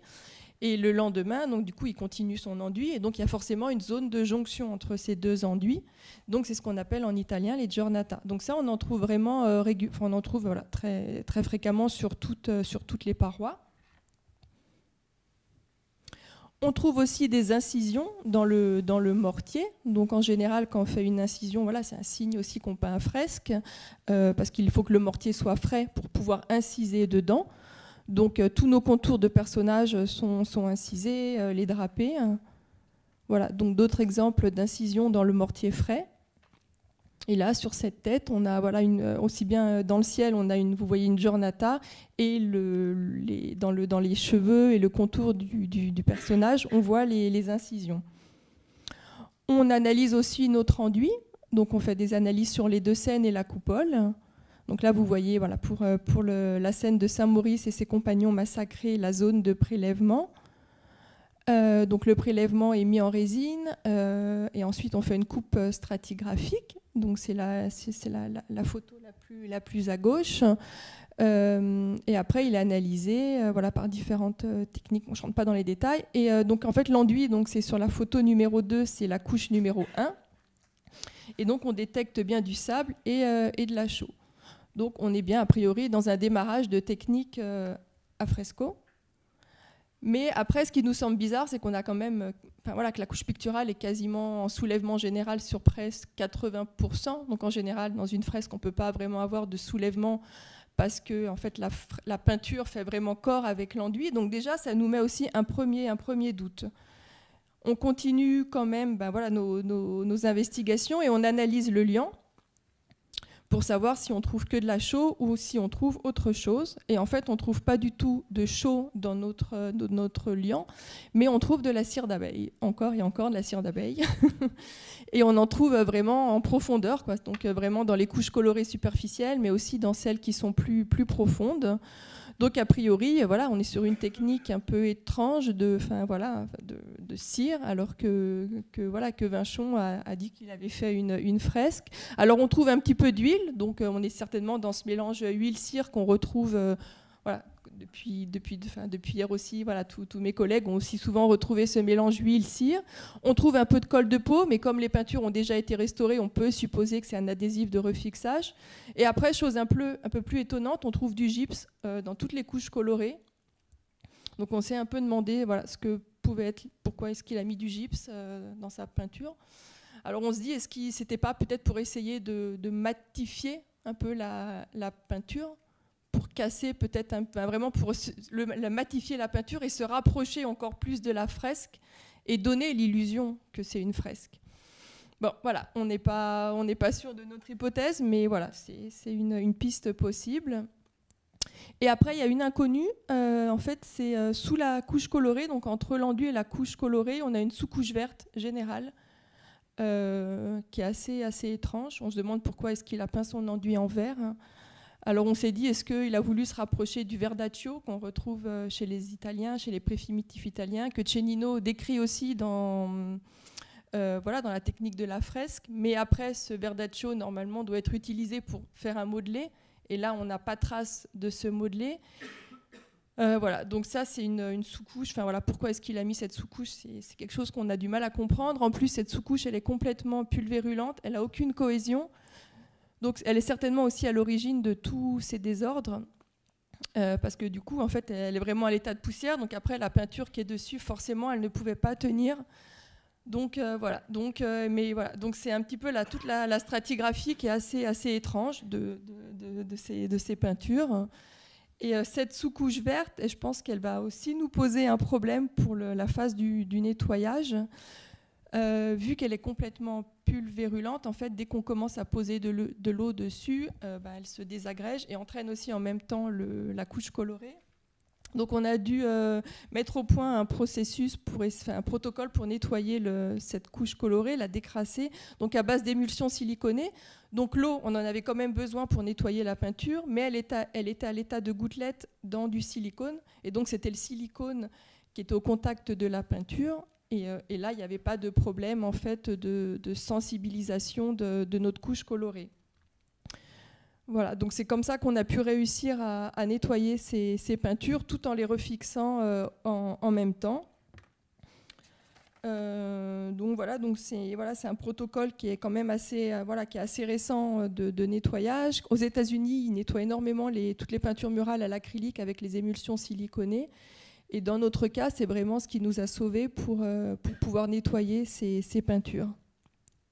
Donc on a quasiment fini le nettoyage et là on attaque la phase mastic et retouche, mais pour le moment je ne voilà, je vous en parle pas et ce sera peut-être l'objet d'une prochaine intervention. Euh, donc, comme vous le voyez, rien ne s'est passé comme Vanchon l'avait prévu. Et dès 1826, donc à peine quatre ans après avoir terminé euh, sa chapelle, il essaye de réclamer et d'obtenir auprès du comte de Chabrol une nouvelle chapelle à décorer à Saint-Sulpice. Et il dit Ma première chapelle n'a pas produit le résultat que j'en attendais, et c'est dans la même église que je désire prendre ma revanche. Il va même jusqu'à dire que Raphaël s'était trompé dans ses deux premières fresques. Et depuis longtemps, je souffre de me voir rejeté de cette carrière que vous seul pouvez me rouvrir et à laquelle j'ai déjà, déjà sacrifié six années de mon travail. Donc Vinchon, effectivement, après ses essais infructueux réalisés à Saint-Sulpice, euh, Vinchon va quand même réussir à se maintenir sur la scène artistique parisienne par une présence constante au salon, en participant à tous les grands chantiers décoratifs de son temps. Et en 1855, à quelques semaines de sa mort, il reste euh, l'un des artistes les mieux représentés lors de l'exposition universelle de Paris. Et Vinchon, en tout cas, nous apprend à détourner notre regard et à compléter cette première moitié du 19e siècle français. Juste pour finir, voilà, le dernier slide, c'est voilà, tous, les, euh, tous les intervenants autour, euh, autour de notre équipe. Donc mes remerciements à la Coarc, la DRAC, la paroisse, toute l'équipe de restauratrices, le laboratoire et évidemment les mécènes. Merci.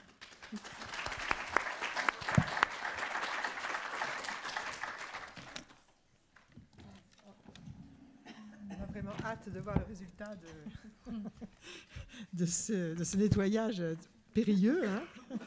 et voilà, je suis sûre que le résultat sera magnifique. Voilà. Et puis on a, on a hâte aussi de, lire tout, de découvrir Vachon et toute son œuvre. Voilà.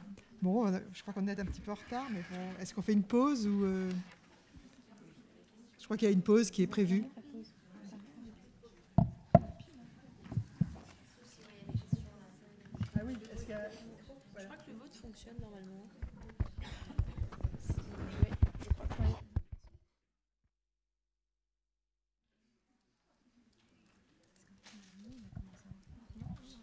Bonjour et merci pour la présentation. Méliné, j'avais juste une question. Est-ce que le labo t'a donné la nature du verre en sous-couche C'est terre verte.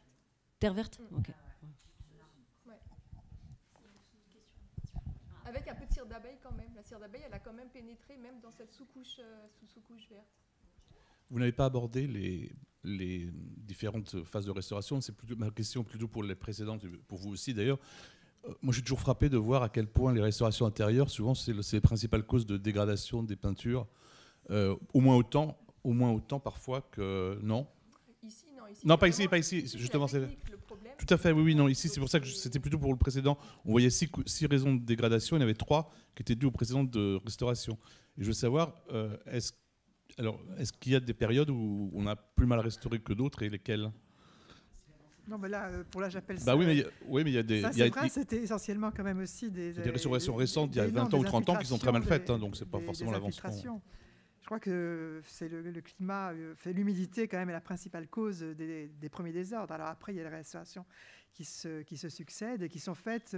C'est bien ce que j'ai voulu montrer dans notre dictionnaire des restaurateurs, c'est que c'était pas un jugement sur les restaurateurs. Les restaurateurs ont travaillé avec euh, les principes, les connaissances, l'esthétique et les matériaux de leur temps. C'est vrai qu'on a utilisé la lessive Saint-Marc jusqu'à très très tard, parce que Germain Bazin, il y a une caricature, il dit euh, et maintenant on arrête la lessive Saint-Marc. Mais voilà, c'était. Je pense que l'évolution des matériaux fait que maintenant les restaurations sont beaucoup moins invasives et que les nettoyages sont beaucoup plus mesurés. c'est une discipline assez récente quand même notre métier. Enfin, enseigner dans les dans les écoles, c'est quelque chose de récent quand on réfléchit. C'est années C'est pas contre les restaurateurs hein, que je, je, disais simplement. Non, non, oui, pour de voir que les restaurations parfois abîment. Mais resituer ça dans un contexte historique. Et puis on voit aussi que les, premiers restaurateurs ont été quand même des artistes, des, formés euh, au métier de peintre. Et c'est vrai qu'ils surimposaient leur, euh, leur, euh, leur savoir-faire. Voilà, il y avait moins de respect de la création originale. Tout ça, c'est une mentalité qui s'est construite au cours des siècles.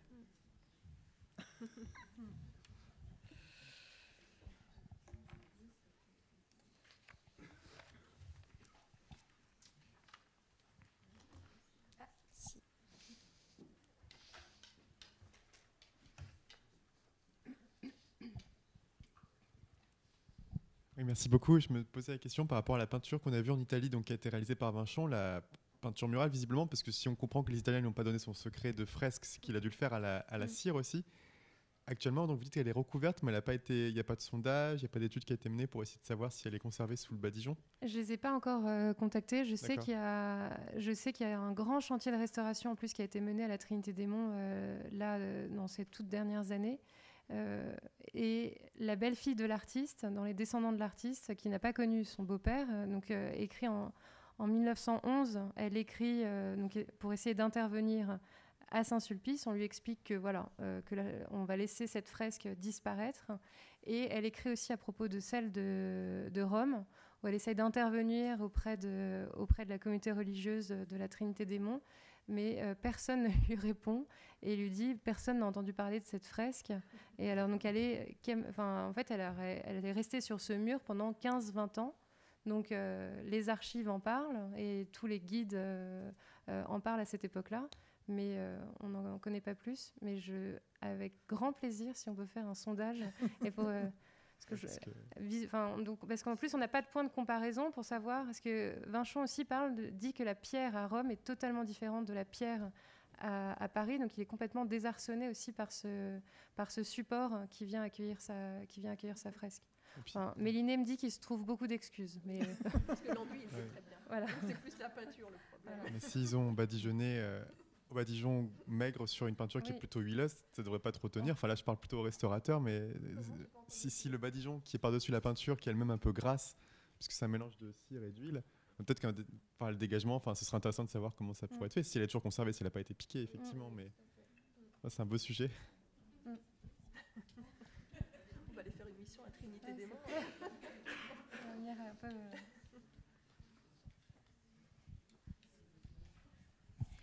Oui, merci pour ces interventions. Alors moi j'aurais une question, peut-être que ça a été dit, mais j'ai pas fait attention, c'est possible.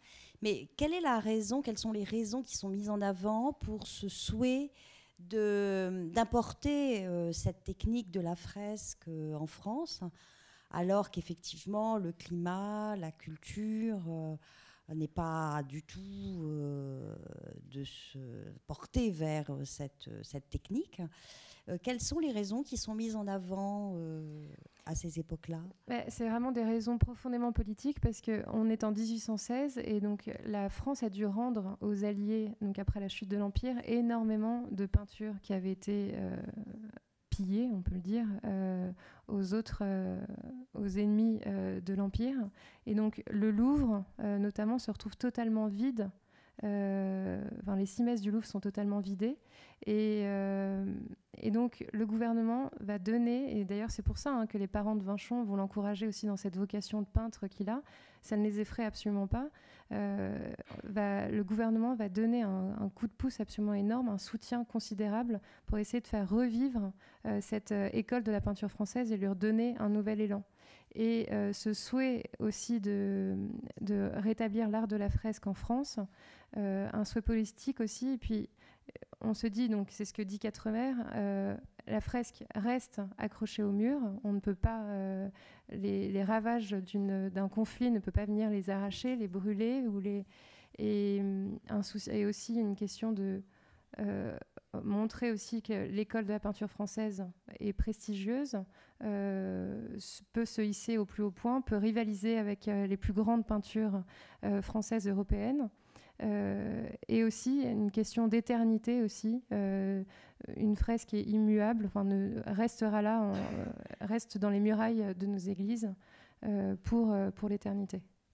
Mais est-ce que ça n'est pas vrai aussi de la peinture murale classique? Qu'on connaît Effectivement, il y a aussi ce, cette espèce de fantasme d'essayer de retrouver cette, c'est ce que vous disiez en, en introduction, ce fantasme euh, de maîtriser euh, cette technique de la fresque qui était parfaitement donc, maîtrisée par, euh, par les anciens, par les primitifs italiens, par tous, les, tous, ces, grands, par tous ces grands peintres donc, du Quattrocento, après de la Renaissance plus tardive, que l'Europe entière va admirer en Italie.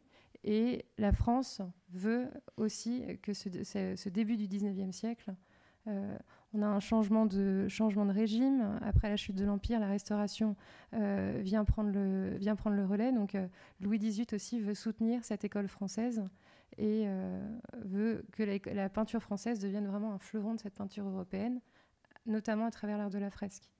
Mais ça ne va pas durer très longtemps. Parce qu'après après les essais de 1822, la, fresque va être abandonnée, en tout cas pour ce 19e siècle, euh, notamment dans les églises parisiennes. Hmm. Merci. Et s'il n'y a pas d'autres questions, on va peut-être enchaîner sur une pause euh, jusqu'à 11h. Voilà.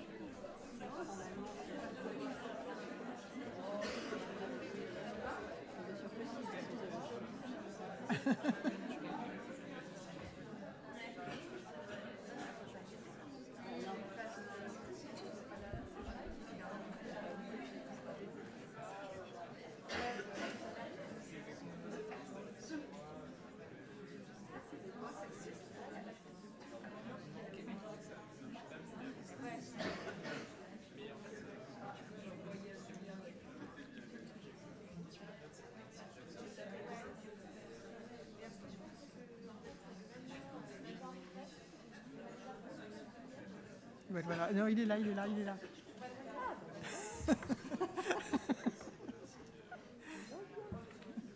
Tout va bien.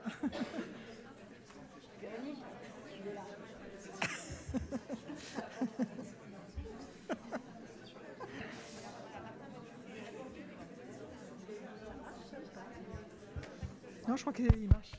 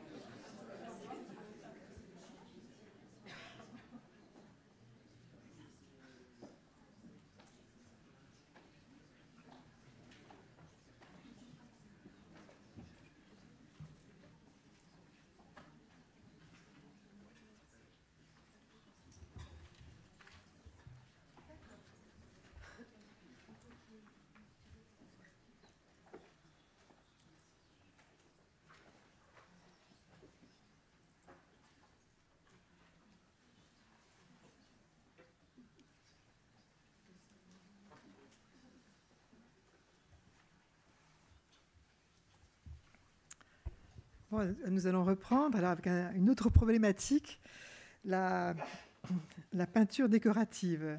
Servir la peinture, mettre en valeur l'architecture, la peinture décorative, indispensable auxiliaire. Telle est la question et j'espère qu'on va pouvoir y répondre. Voilà, alors j'ai été un petit peu, euh, un petit peu avant le 19e siècle, la, peinture décorative euh, a une présence euh, vraiment prégnante dans tous les, décors, précisément. Et avec un peintre comme Charles Erard au XVIIe siècle, l'ornement n'est pas du tout un auxiliaire de l'architecture, loin de là.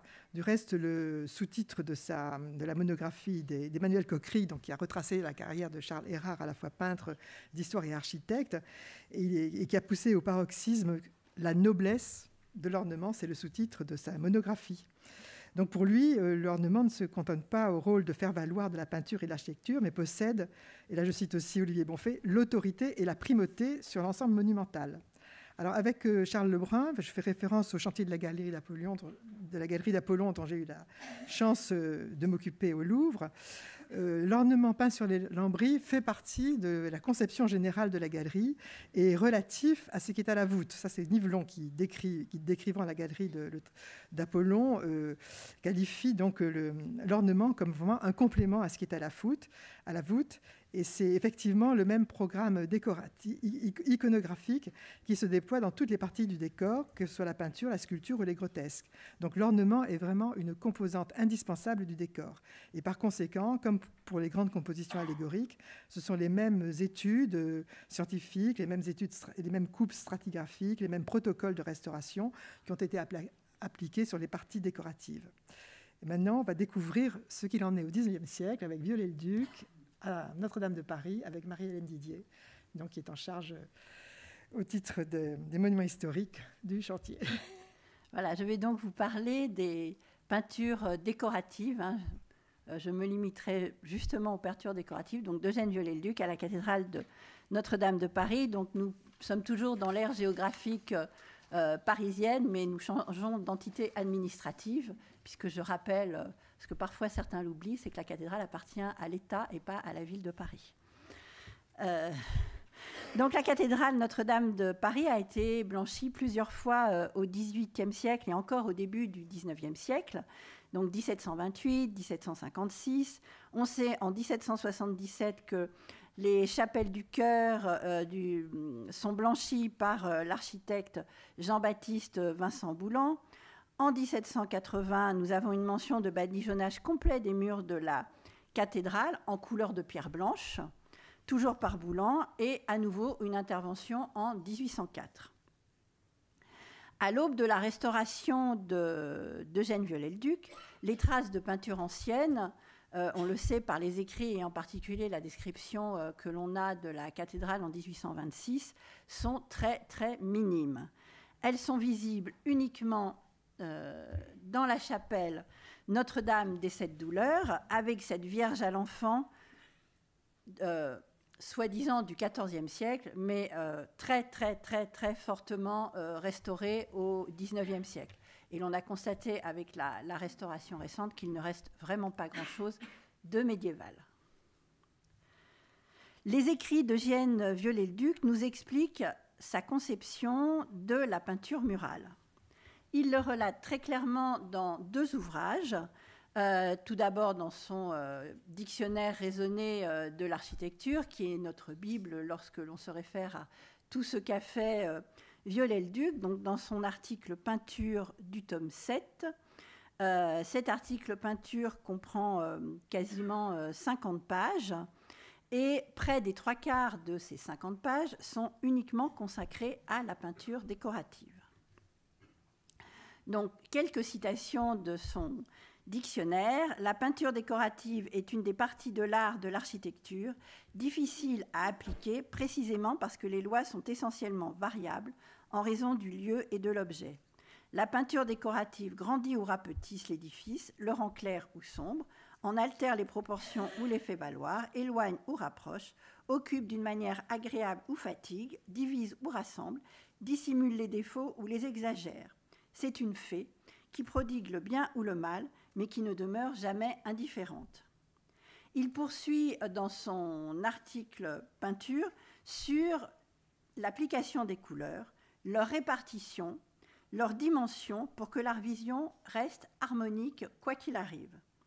Il cite très souvent les rehauts de noir autour des motifs, complètement euh, indispensables justement pour euh, séparer les couleurs et obtenir un effet d'une extrême finesse.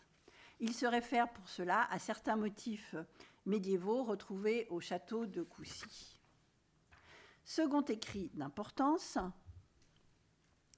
le livre intitulé donc Peinture murale des chapelles de Notre-Dame de Paris, estampe exécutée sur les cartons d'Eugène Viollet-le-Duc, relevé par Maurice Ouradou, qui était son gendre et qui était donc architecte euh, sur le projet de, sur la restauration de la, cathédrale. Et donc ce livre a été euh, rédigé en 1878. En fin de compte, il euh, reprend et complète ce que Viollet-Duc a déjà exprimé dans son dictionnaire raisonné. Donc, mais il parle aussi essentiellement de l'orientation des chapelles et donc de la composition des vitraux, qui est primordial selon l'orientation des chapelles, et que cet équilibre donné par les vitraux doit être poursuivi par les peintures. Il ne doit pas y avoir contradiction entre la couleur du vitrail et la couleur de la peinture, et la couleur de la peinture doit être réalisée en fonction de la lumière transmise à travers le vitrail coloré. Donc la peinture peut être légèrement modifiée dans sa première couleur pour obtenir la couleur qu'il souhaitait au départ. J'espère que je suis assez claire.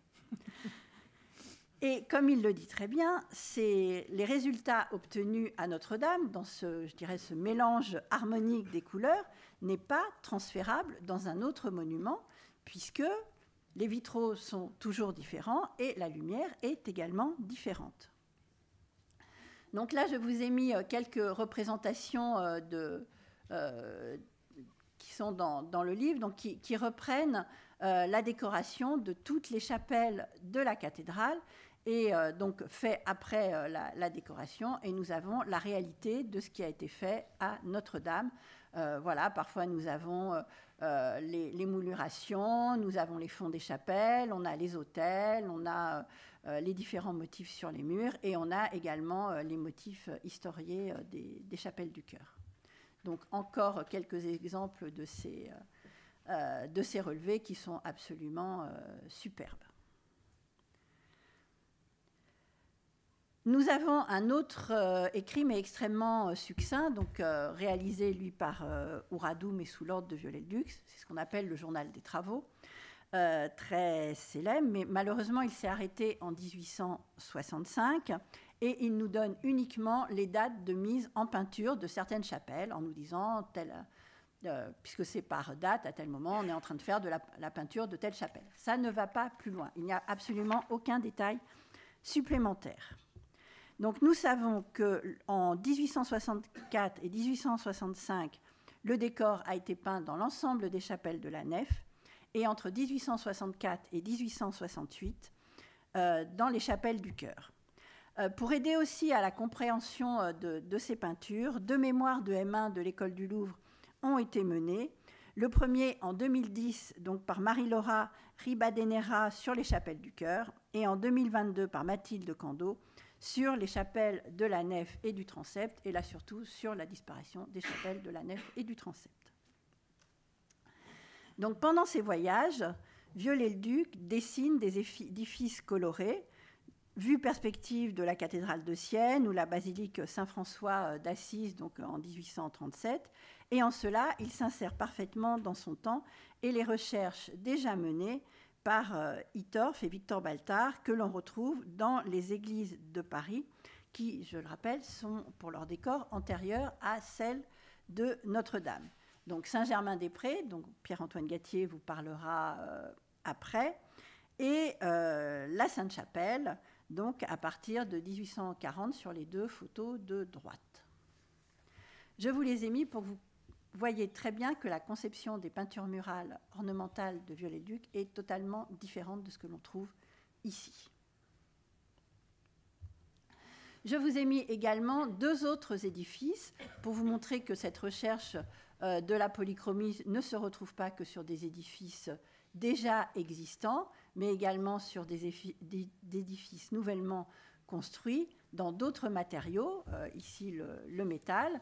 Donc euh, à gauche, Saint-Eugène, Saint-Cécile, donc euh, par Auguste Boileau dès 1854, et à droite, Sainte-Marguerite du Visinet, toujours par le même architecte, donc Boileau, en 1862-1865, où il y a quelques années, nous avons pu remettre au jour le décor euh, polychrome de l'architecture euh, dans le cœur. Et malheureusement, nous n'avons pas pu le faire dans la nef, alors que nous savons parfaitement qu'il est en dessous, puisque l'ensemble avait été rebadigeonné dans les années 70, ce que l'on retrouve couramment euh, dans, dans un grand nombre d'édifices, parce que la polychromie ne plaisait plus à ce moment-là.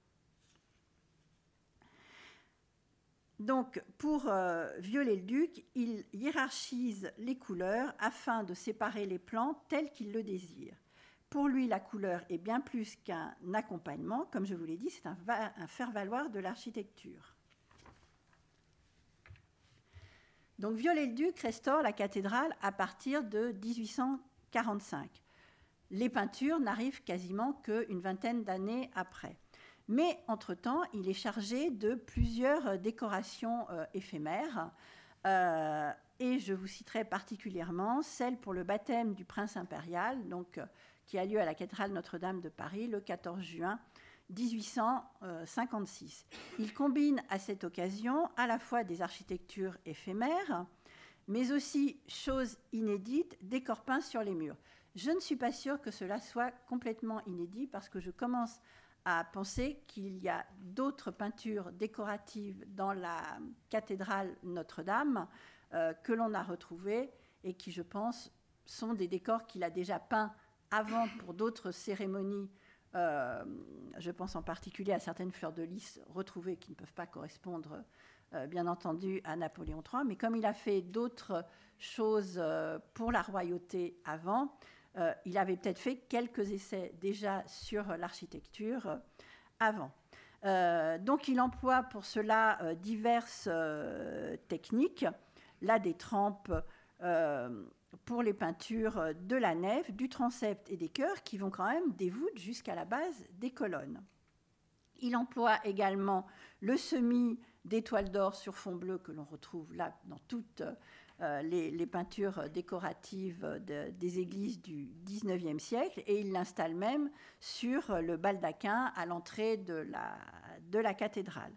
Donc il a essayé par cela déjà de faire des tests euh, sur la polychromie telle qu'il pouvait la déployer à l'intérieur de la cathédrale.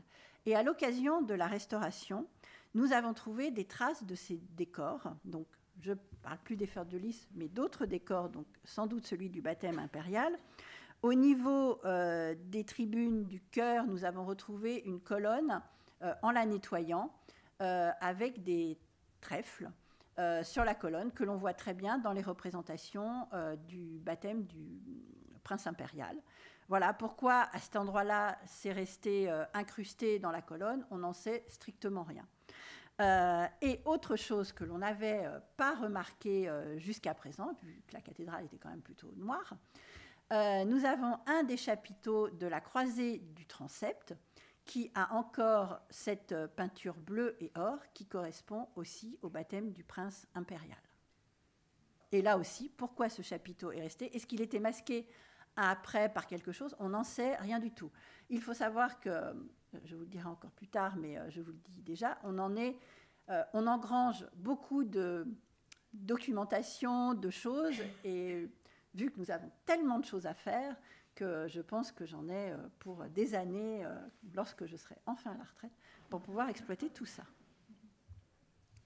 Autre chose que nous avons euh, aussi retrouvé, donc en, nettoyant, et chose qui est citée dans le journal des travaux, Viol, donc Ouradou, écrit pour violer le duc, il ravale les voûtes du cœur, donc avec une peinture, il applique une peinture à la, à lecho, et il fait des filets dans les nervures des arcs diagonaux et formeraient. Et donc nous les avons retrouvés pendant le chantier et nous les avons rétablis lorsqu'ils avaient disparu. Et en fin de compte, on s'aperçoit que d'en bas, cela accentue le creux de la mouluration euh, des arcs. Donc Viollet-le-Duc réalise un programme complet du décor dans les chapelles de la nef et du chœur, ainsi que dans les bras du transept. Et sa théorie est euh, pour lui qu'à l'époque médiévale, faute de moyens, les chapelles n'avaient pas tout été peintes, parce que voilà, les commanditaires euh, n'avaient euh, plus forcément d'argent. Il faut savoir que les chapelles à Notre-Dame ont été rajoutées au cours du XIVe siècle entre, entre les contreforts, et en général dédiées à une famille, une confrérie. Et donc certaines avaient peut-être été décorées, d'autres non, et donc pour lui, elles devaient être décorées, donc il les décore. Pour euh, la technique euh, utilisée, il s'attache euh, plus dans les écrits que, que nous avons sur le mode d'application que sur la nature précise des matériaux et en particulier sur la surface du mur à obtenir, en particulier sur, dans, les chapelles où il précise bien que l'on avait des murs de contrefort, donc les joints n'étaient pas forcément extraordinaires et qu'il fallait euh, obtenir une surface extrêmement lisse pour avoir le résultat qu'il voulait. Et donc, il nous euh, décrit bien que les joints ont donc été dégradés sur 2 mm euh, pour leur donner un aspect moins grossier dans, la réfection de, de la surface, qu'ensuite les murs ont été enduits sur un, avec un enduit léger de plâtre puis euh, ensuite, sur cet enduit sec, a été passé un après, donc suivant le procédé Courtin, dont on a déjà parlé, et Courtin est normalement celui qui a été chargé de peindre toutes euh, les chapelles. Euh, voilà, et que cela formait une croûte très dure, à peine attaquable au ciseau. Ensuite, l'enduit du peintre est venu couvrir le tout et recevoir les tons. Et là, par contre, on n'a absolument aucune indication sur euh, la technique des peintres euh, elles-mêmes. Mais euh, l'on sait par des analyses qui avaient été faites dans les premières restaurations des, années 2000 et que nous poursuivons, que sur les techniques de peinture, on a de tout. On a de l'huile, on a de la détrempe et on a des mélanges divers, comme on a cité tout à l'heure, huile plus cire, voilà, mais dans quelle proportion, on n'en sait rien. La bibliothèque, la médiathèque du patrimoine et de la photographie conserve des documents que vous avez à l'écran qui sont appelés bannières, qui sont au nombre à peu près une quarantaine et qui regroupent sur un même panneau les dessins réalisés par Viollet-le-Duc entre 1865 et 1868, qui ont donc été euh, euh, rassemblés après. Là, on ne sait pas pourquoi ils ont été rassemblés. Et euh, nous avons sur chaque bannière, donc plusieurs bannières peuvent représenter une seule chapelle. Nous avons donc des scènes complètes de, de, de, ce qui est représenté dans les chapelles. On a aussi des poncifs réalisés à l'échelle 1 et signés de la main de Viollet-le-Duc. Donc Viollet-le-Duc, là, a vraiment conçu jusqu'à l'ornement. C'est vraiment un, concepteur global de, tout le décor. Nous avons les, motifs décoratifs avec des indications de couleur. Là, sur la photo de droite, vous avez la signature de Viollet-le-Duc euh, en bas à gauche, à droite, pardon. Euh, et donc, on voit bien aussi les poncifs, puisqu'on a les, petits trous.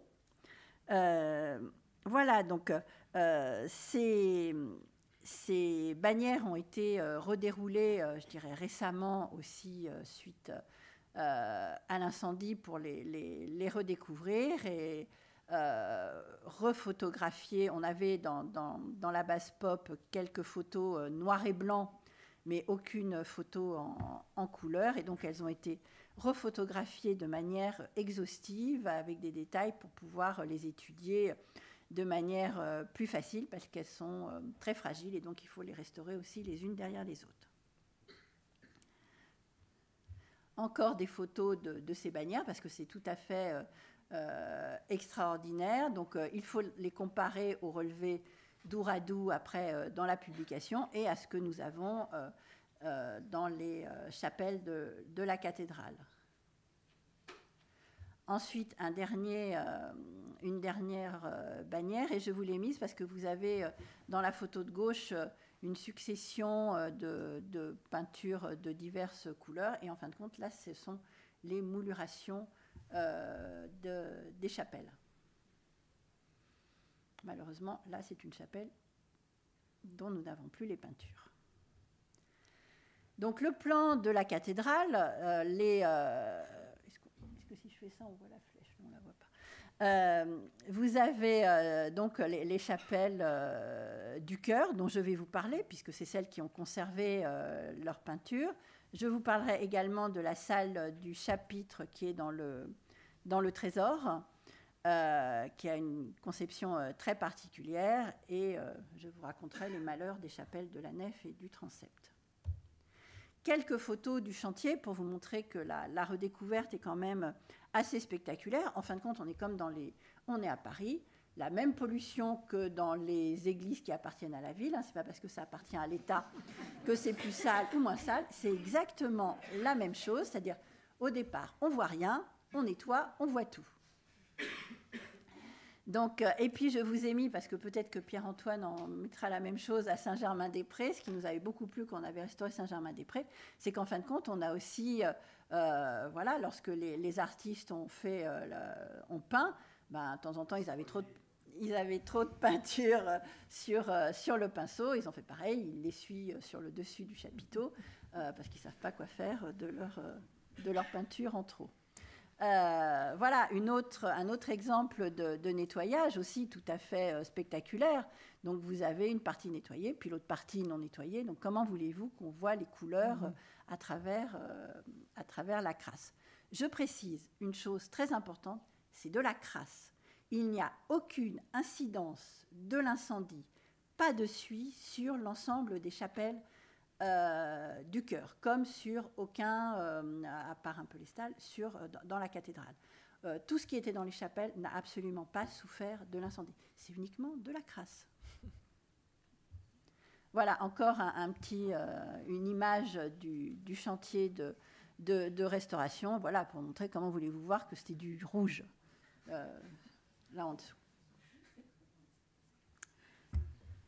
Donc, nous avions restauré juste avant l'incendie déjà la chapelle Saint-Germain. Donc, on savait quand même ce que l'on allait euh, retrouver euh, comme couleur. Et entre 1994 et 2000, trois chapelles du rond-point aussi avaient été euh, restaurées. Mais on s'aperçoit qu'il a fallu quand même les renettoyer parce que 23 ans de crasse, c'était quand même assez présent. Et l'autre, on l'avait restauré en 2018, donc nous l'avions inaugurée en novembre 2018. Donc là, elle venait d'être restaurée. Et si je puis vous assurer qu'elle n'avait pas de traces de Suisse, puisque le, lendemain, euh, quand je suis allée, euh, euh, j'ai pu faire le tour de Notre-Dame, je me suis dit tout est noir, tout ce qu'on a fait juste avant, c'est horrible. Enfin, quand je suis allée mettre, j'ai vu, donc j'ai vu que c'était toujours très clair. Je suis allée mettre ma main sur les, les peintures murales. Voilà, je les ai frottées et je n'avais strictement rien sur les doigts visuellement. Peut-être que j'avais d'autres choses qu'on ne pouvait pas voir, mais visuellement, je n'avais rien du tout.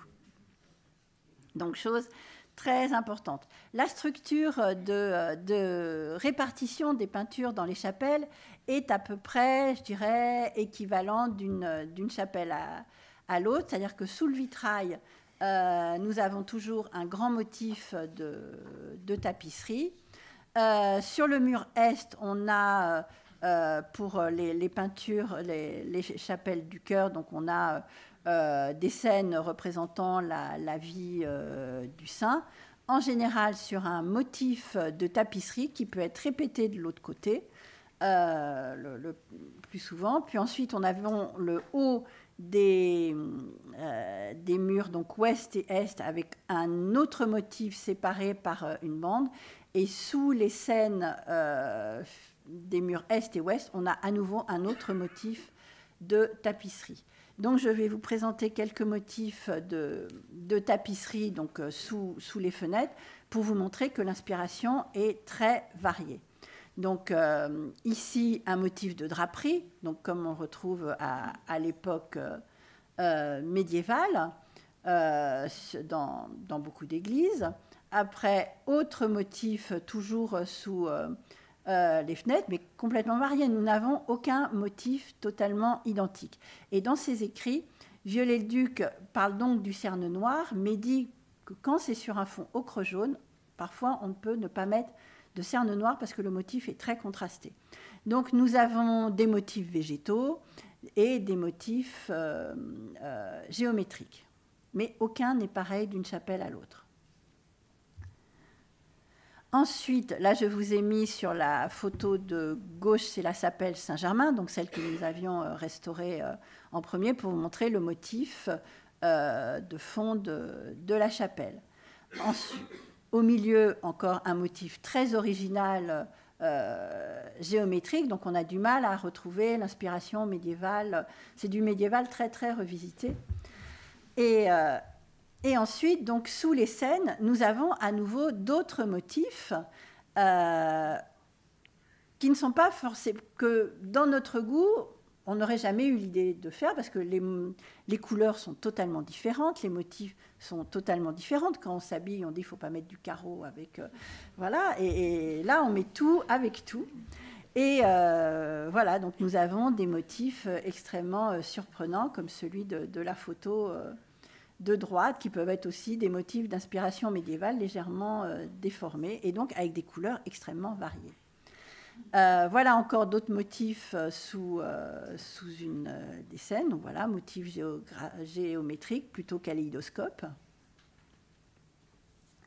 Et en fond de scène, donc je vous en ai quand même mis une, comme je vous ai dit, nous avons des motifs au pochoir qui peuvent être extrêmement variés d'une d'une chapelle à l'autre. Alors soit ça a un rapport avec euh, la scène euh, en disant, voilà, c'est une scène de martyr, là nous avons des, des palmes, on peut avoir euh, le, monogramme de la chapelle du Saint, donc on a SG, SF pour Saint Ferdinand, on peut avoir des fleurs de lys, donc qui rappellent la Vierge, on peut avoir aussi quelques blasons selon à quelle famille était dédiée la chapelle. Donc on a vraiment là aussi une inventivité. Et euh, sur, la, euh, sur la photo de, droite, vous avez aussi quelques exemples de bordures où l'on trouve aussi des motifs extrêmement variés, motifs végétaux, souvent des rinceaux qui peuvent... Voilà, ici on a plutôt l'impression qu'on a des marguerites, on a des, on a, des rinceaux, beaucoup de lys. Le lys est très présent dans, la, dans le motif végétal de, de Viollet-le-Duc. donc euh, on peut avoir des feuilles de chêne, on a des feuilles de cresson, on a, euh, voilà, on a beaucoup de choses.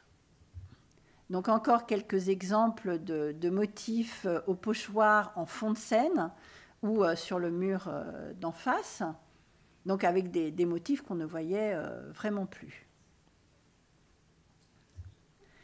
Et quelques motifs aussi, je vous l'ai dit, la, la division en haut euh, du mur, donc l'arc de la voûte, ou là avec des petites fleurs qui rappellent aussi de façon lointaine euh, les, les, motifs de fleurettes que l'on a dans les, beaucoup dans les églises euh, médiévales.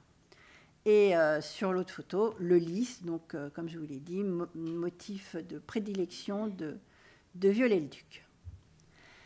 Sur les colonnes, ou tout ce qui est mouluration, colonnette, euh, nervures.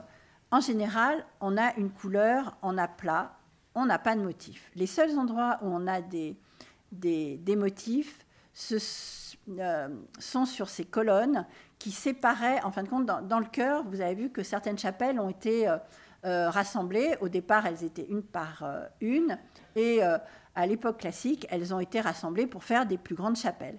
Et en fin de compte, ces motifs sur les colonnes séparent les anciennes dispositions architecturales de la cathédrale, donc par les anciennes chapelles. Mm. Ce sont les seuls endroits où il y a un motif sur la colonne. Motif que l'on retrouve également euh, dans la voûte. Quand je vous parlais des, motifs végétaux de, Viollet-le-Duc que l'on retrouve partout, donc euh, la, fleur de lys que l'on retrouve à la fois sur le chandelier pascal, sur les lustres, la feuille de chêne que l'on retrouve euh, à l'extérieur de la sacristie, les chapiteaux aussi, dans les chapelles, sont euh, colorés. Donc, et là, on a toujours le, même principe. Donc, la, feuille est verte vers le spectateur, rouge derrière, sur fond bleu. Euh, là, nous, on a un petit, en plus un petit personnage peint en plus, c'est le seul que l'on a dans la, cathédrale. Et pour les, toujours les, colonnes qui, qui séparent donc les anciennes chapelles, on a de la dorure. Pour les nervures, pareil, là, les nervures qui sont ornementées sont celles qui séparent les anciennes chapelles, où l'on a aussi des motifs euh, toujours d'inspiration euh, médiévale euh, lointaine, avec les chevrons et, le, motif végétal qui s'enroule autour du tort. Les réseaux, les réseaux sont quelque chose de tout à fait euh, extraordinaire, alors que je vous ai montré tout à l'heure les, photos de Saint-Germain-des-Prés et de la Sainte-Chapelle où les réseaux sont peints. Les, motifs, euh, pareils, les, nervures sont peintes de motifs. Euh, ici, non, il n'y a pas de motifs. Il y a des couleurs toujours que l'on trouve surprenantes, mais qui sont même fascinantes mais que l'on retrouve là dans la couleur du vitrail. En particulier, le bleu fait la liaison avec le vitrail. Et puis après, on a une autre couleur qui est un peu rose saumon. Euh, non, je reviens sur elle d'avant. Et là, vous avez des motifs très colorés sur les réseaux parce que les vitraux sont en grisaille. Lorsque les vitraux sont euh, ornementés, euh, comme dans certaines chapelles du chœur, en fin de compte, les, réseaux sont beaucoup moins euh, décorés au niveau couleur afin de ne pas faire un trop violent contraste avec le vitrail lui-même. Je pense que c'est toujours dans son harmonie des couleurs pour que l'on n'ait pas le réseau qui vienne en contradiction avec ce que l'on est en train de voir derrière. Donc là, vous avez plutôt du rouge, euh, de l'ocre. Euh, là, c'était, ce sont des planches de Denuel que j'avais mises pour montrer toutes les inspirations médiévales qui pouvaient être euh, euh, possible. En fin de compte, tous les architectes au 19e se réfèrent tous aux mêmes exemples qu'ils connaissent euh, dans toute la France. Voilà, on a Saint-Savin, on a la Sainte-Chapelle, et tous les exemples sont toujours les mêmes. Et là, on a quelques chapiteaux également peints. Là, c'est la, donc dans la chapelle Saint-Guillaume, séparation entre deux chapelles, c'est l'assemblage de couleurs d'une gerbe de voûte qui est la plus fascinante. Je vous laisse la regarder.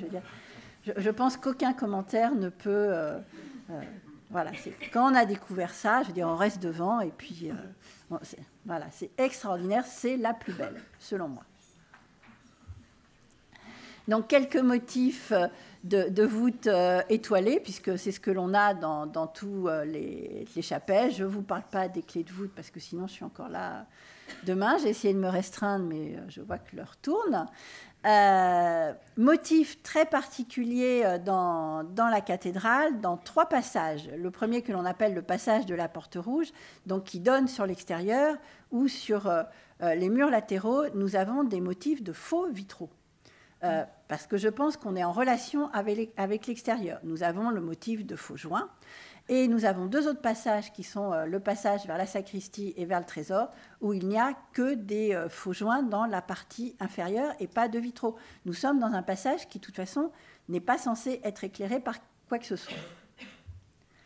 Euh, je terminerai par un bâtiment tout à fait particulier, la sacristie, donc construite à partir euh, de 1849, je crois, de, euh, par Viollet-le-Duc. Et la sacristie est une œuvre complète de Viollet-le-Duc. Donc vous avez l'enveloppe, le décor, les meubles et ce qu'il y a dans les meubles.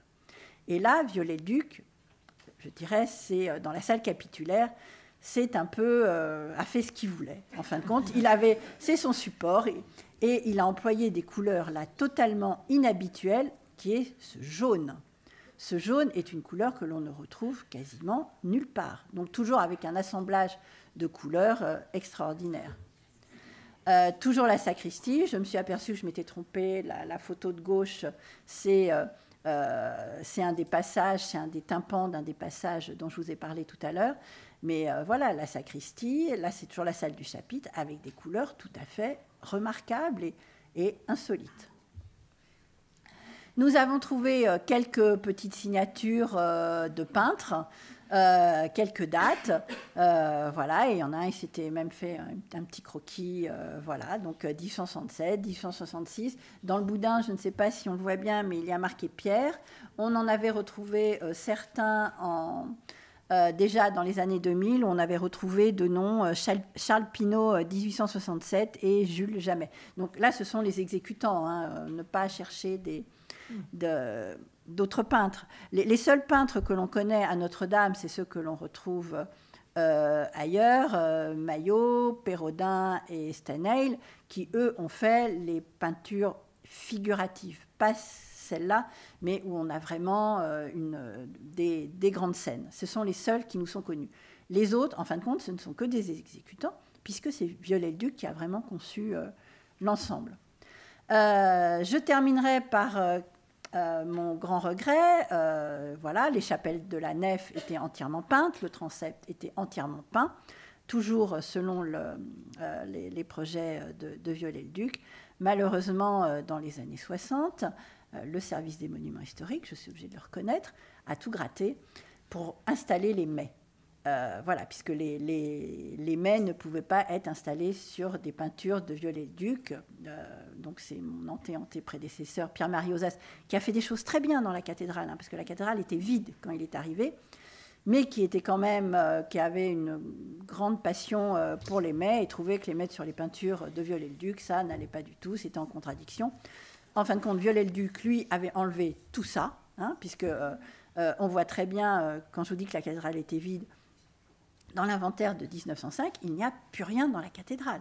Il a tout enlevé. Il a enlevé les sculptures qui, voilà, qui étaient un peu trop récentes euh, pour l'époque médiévale, et il avait enlevé tous les tableaux qui n'étaient pas médiévaux.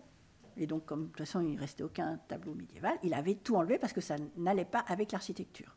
Donc, Viollet-le-Duc euh, avait tout enlevé. Et donc, au, cours du chantier de restauration, on a trouvé euh, quelques restes de polychromie que l'on a documentés euh, partout. En fin de compte, c'est tout ce qui ne se voyait pas d'en bas, ben, parfois ils avaient un peu moins bien gratté. Euh, voilà, donc on trouve dans les chapiteaux du rouge, du vert, de la dorure. Là, c'est Après, c'est dans le transept. voilà, on trouve vraiment de la couleur. Il y en a même, les, sculptures étaient, étaient entièrement peintes. Hein. Et ce que nous avons retrouvé derrière la boutique du diocèse, nous avons retrouvé un décor euh, voilà, ornemental, toujours à motif quand même très surprenant et à couleur surprenante. Euh, et pourquoi l'a-t-on retrouvé? Pour la simple raison que quand on a gratté, la boutique était déjà faite. Donc ils n'ont pas gratté derrière. Et on sait que dans une des chapelles de la nef, derrière quelque chose, on sait que nous avons un élément de peinture. Et euh, je terminerai par cette photo, donc qui est très sobre, uniquement pour vous dire que quand Viollet-le-Duc a créé euh, les peintures des chapelles, il avait obligatoirement nettoyé entièrement la cathédrale, telle que nous l'avons aujourd'hui, pour la simple et bonne raison que la couleur, euh, donc à la limite des chapelles, là vous avez euh, l'ocre peint et la même chose que la pierre. Il ne l'aurait pas fait comme ça si la cathédrale n'avait pas été nettoyée, vu ses réflexions sur la couleur. Donc voilà, donc nous avons, nous avons engrangé euh, je vous ai dit ce que je pouvais vous dire dans le temps imparti. Donc nous avons engrangé beaucoup, beaucoup, beaucoup de documentation, beaucoup de, choses à, restituer. Moi, j'ai euh, un, des vœux que j'appelle toujours, c'est que quelqu'un me rétablisse virtuellement, hein, je précise bien virtuellement, les, couleurs des chapelles de la nef avec toute la documentation que, que l'on a et également des, des transepts. Merci.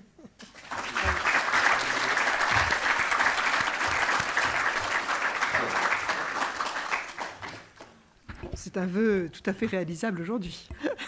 Oui, mais il faut avoir le temps. Ah, le temps, voilà, exactement.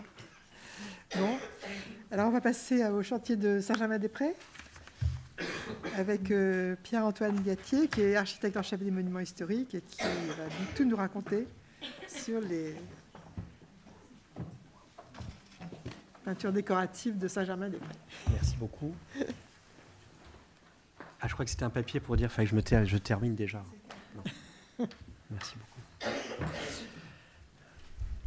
Je voudrais euh, tout d'abord remercier euh, Véronique Milan de son invitation et la COARC pour lequel nous avons conduit ce, chantier.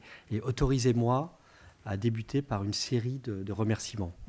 D'abord, Marie-Hélène, merci beaucoup de ton aide dans le cadre du contrôle scientifique et technique, mais surtout d'avoir rappelé que Saint-Germain-des-Prés venait avant. Et donc, euh, je, n'osais pas le, formuler. Donc voilà, c'est dit. Saint-Germain-des-Prés est le laboratoire où s'invente, selon nous, ce grand décor.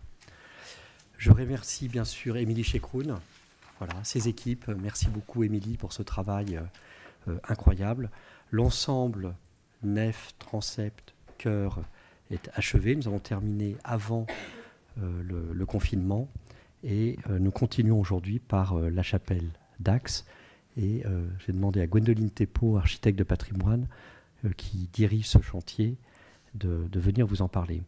Donc, je reprends très formellement. Donc, je remercie beaucoup la COARC d'avoir engagé cette grande opération. Je pense que nous devons de remercier le fonds de dotation.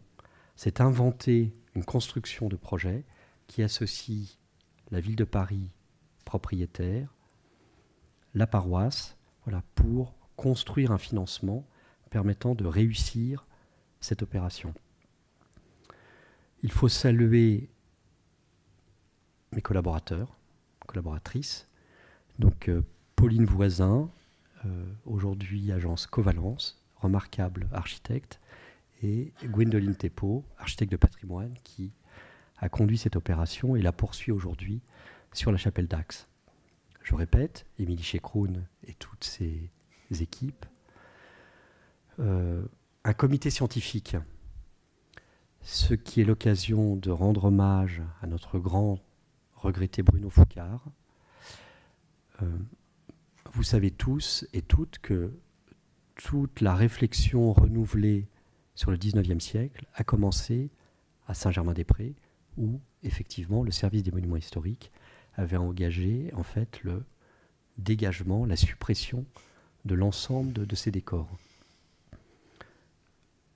Propos tenus sans aucune critique, puisqu'il n'est pas impossible que nous réalisions également de même euh, désordres patrimoniaux euh, sans avoir la, capacité à, comprendre. ma phrase est un peu complexe, donc je reprends.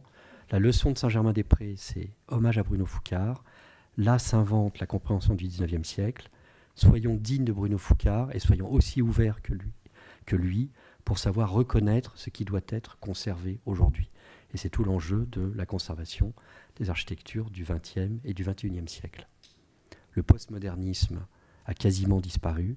L'architecture brutaliste des années 60-70 est totalement en train de disparaître aujourd'hui. Donc, regardons de manière critique ces décors qui ont été supprimés, mais la même chose se déroule aujourd'hui sous nos yeux.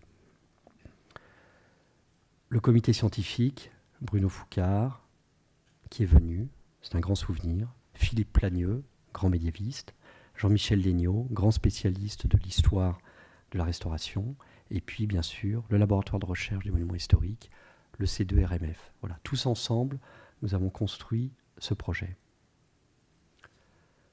Saint-Germain-des-Prés, une histoire de l'architecture médiévale. Une histoire du regard sur l'architecture médiévale au temps moderne. Et je veux souvent faire référence au catalogue Marie-Hélène du Gothique retrouvé, grande exposition du grand Louis Grodecki, qui s'interroge dans les années 80 sur le cheminement artistique et intellectuel qui a amené à la redécouverte de l'architecture gothique. Et un grand chapitre est dédié à l'ordre des Moristes, installé à Saint-Germain-des-Prés, qu'il considère comme étant les inventeurs de l'archéologie, les inventeurs de la conservation. Les Moristes euh, réforment de l'ordre bénédictin, propriétaires de l'ensemble des grandes abbayes, s'engagent dans une démarche de conservation de monuments, inventaire des fonds d'archives, conservation, reconstruction de leurs abbayes. Au XVIIe siècle, s'invente à Saint-Germain-des-Prés l'idée de la restauration et de la conservation. Le grand décor de Saint-Germain-des-Prés. Il y a beaucoup de manières de l'aborder. Comme œuvre exceptionnelle, c'est légitime. Comme moment euh, d'invention de la pratique de restauration. Restons un moment sur ce concept. Un chantier à partir des années 1840. Oui.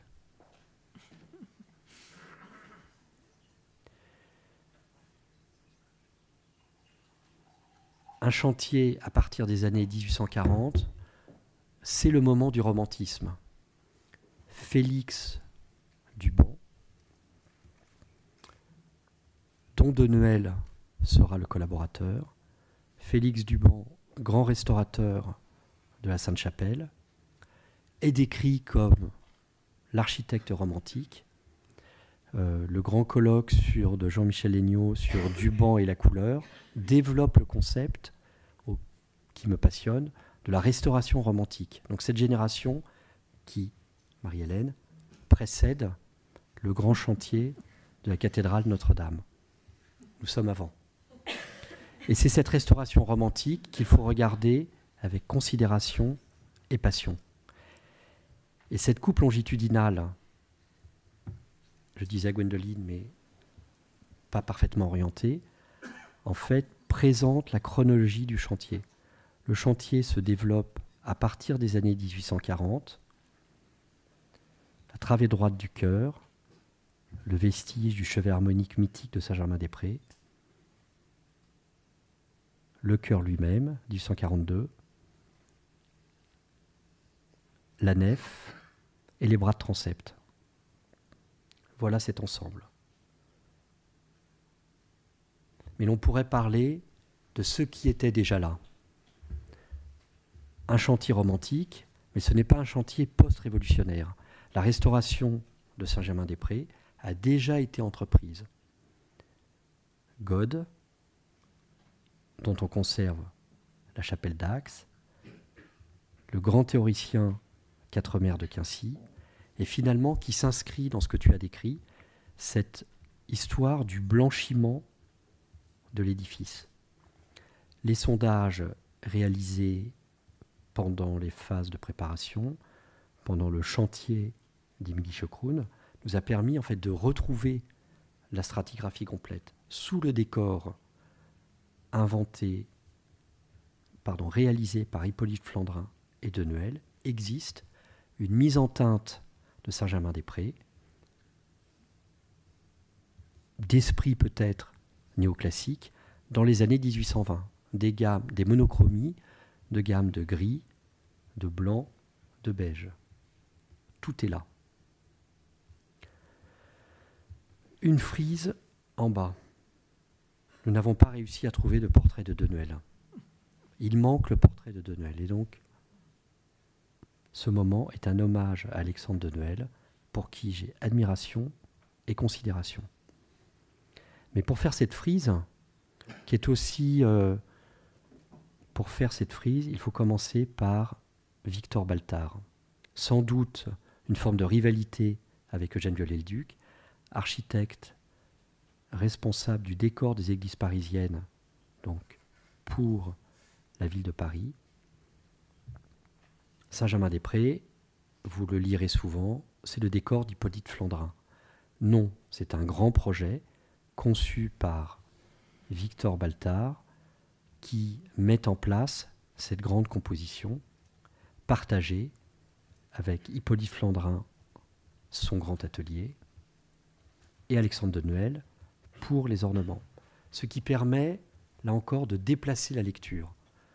Un projet de restauration romantique, en fait un projet qui est inventé à Rome quand Balthar Flandrin, dans les années 1830, son pensionnaire de l'Académie, sous l'influence presque dominatrice d'Ingres, qui ouvre Baltard Flandrin à l'histoire de la peinture italienne. Les voyages de Baltard Flandrin puis de Noël sont connus. Viollet-le-Duc fera le même parcours, redécouvrir la peinture du XIIIe et du XIVe siècle. Saint-Germain-des-Prés est un projet de restauration romantique. Saint-Germain-des-Prés est le regard porté par de grands artistes à Rome ayant regardé la chapelle supérieure de Saint François d'Assise. Et si vous comparez les deux images, vous pourrez mettre en conformité cette grande démarche. C'est aussi une histoire de, la technique. Donc ne parlons plus de la chapelle d'Axe, de God, mémoire du premier chantier 1820, répartition des techniques, répartition du travail entre les fonds traités par De Noël, le décor architectonique par De Noël et toutes les figures traitées par Hippolyte Flandrin, puis Paul Flandrin et l'ensemble des élèves d'Hippolyte. Lorsque De Noël décède, dans les années, un hommage lui est rendu vers 1876-78, je ne sais plus il est bien dit que l'œuvre majeure de De Noël, c'est Saint-Germain-des-Prés. Et l'œuvre majeure de De Noël, c'est le cœur de Saint-Germain-des-Prés. Ce qui renvoie en fait à la muralité de Saint-Germain-des-Prés, quels étaient les espaces où De Noël pouvait s'exprimer? Vous savez tous que la magie de Saint-Germain-des-Prés, c'est une nef romane avec un couvrement 17e par les moristes, une grande muralité dont Flandrin va se saisir. Un chœur du XIIe siècle, rattaché à l'influence de Vézelay, peu d'espace libre permettant à Flandrin de s'exprimer, c'est le territoire de Denuel. Je vous présenterai des images.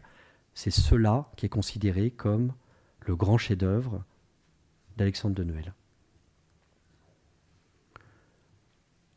C'était l'occasion de présenter l'un des grands catalogues de Bruno Foucard, de son frère, là où partie de cette invention, pardon, de cette aventure intellectuelle de redécouverte de la peinture du 19e et de la peinture, effectivement, du cercle, Marie-Hélène l'a bien rappelé, Madame, des églises parisiennes. Une, des, une de mes interrogations, c'est quelle est la démarche de conception d'un grand décor comme celui-là? Je ne suis pas certain d'avoir trouvé. Euh, les dessins de De Noël, il existe un fond à l'école des beaux-arts, et je vous propose de regarder ce, dessin avec beaucoup d'attention. Il a la particularité, en fait, d'être. Donc, c'est une coupe longitudinale. Euh, nous regardons la façade nord.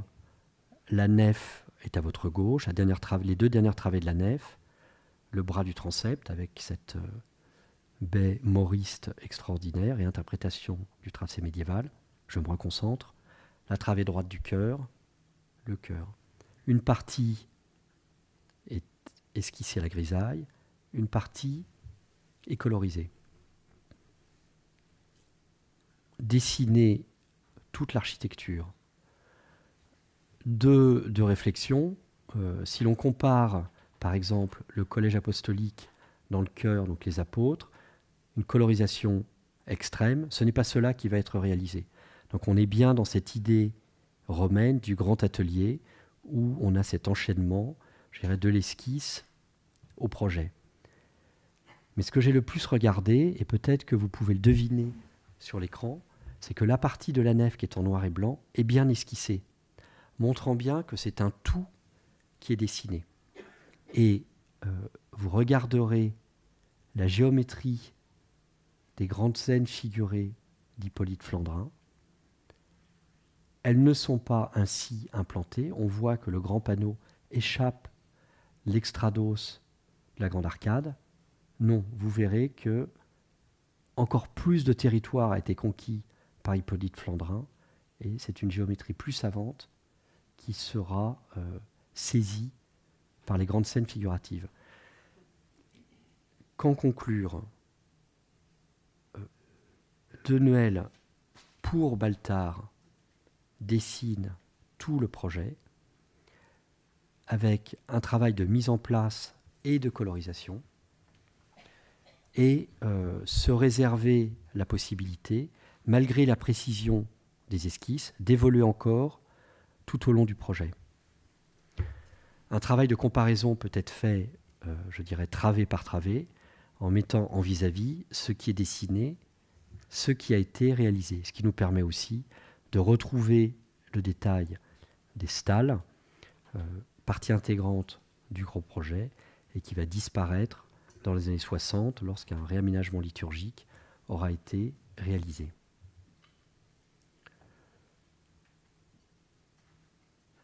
Une scène, mon composite, vous savez tous, une composition travée par travée, composition typologique avec scène de l'Ancien Testament et scène de Nouveau Testament, la résurrection du Christ, donc Nouveau Testament précédé donc par euh, euh, la, Noé sortant de. Pardon. Jonas sortant de la baleine que vous voyez ici. Elle m'a toujours troublé. Hippolyte Flandrin et euh, peinture murale et progressivement euh, abandon de cette technique pour euh, un basculement vers la toile marouflée réalisé par son frère Paul Flandrin. Donc on a fait tout un travail pour identifier en fait ce moment de basculement que l'on a retrouvé donc dans la travée adjacente à la tribune d'orgue. Mise en place d'un grand décor, mise en place d'un grand décor voulu par Victor Baltard, la question de la technique.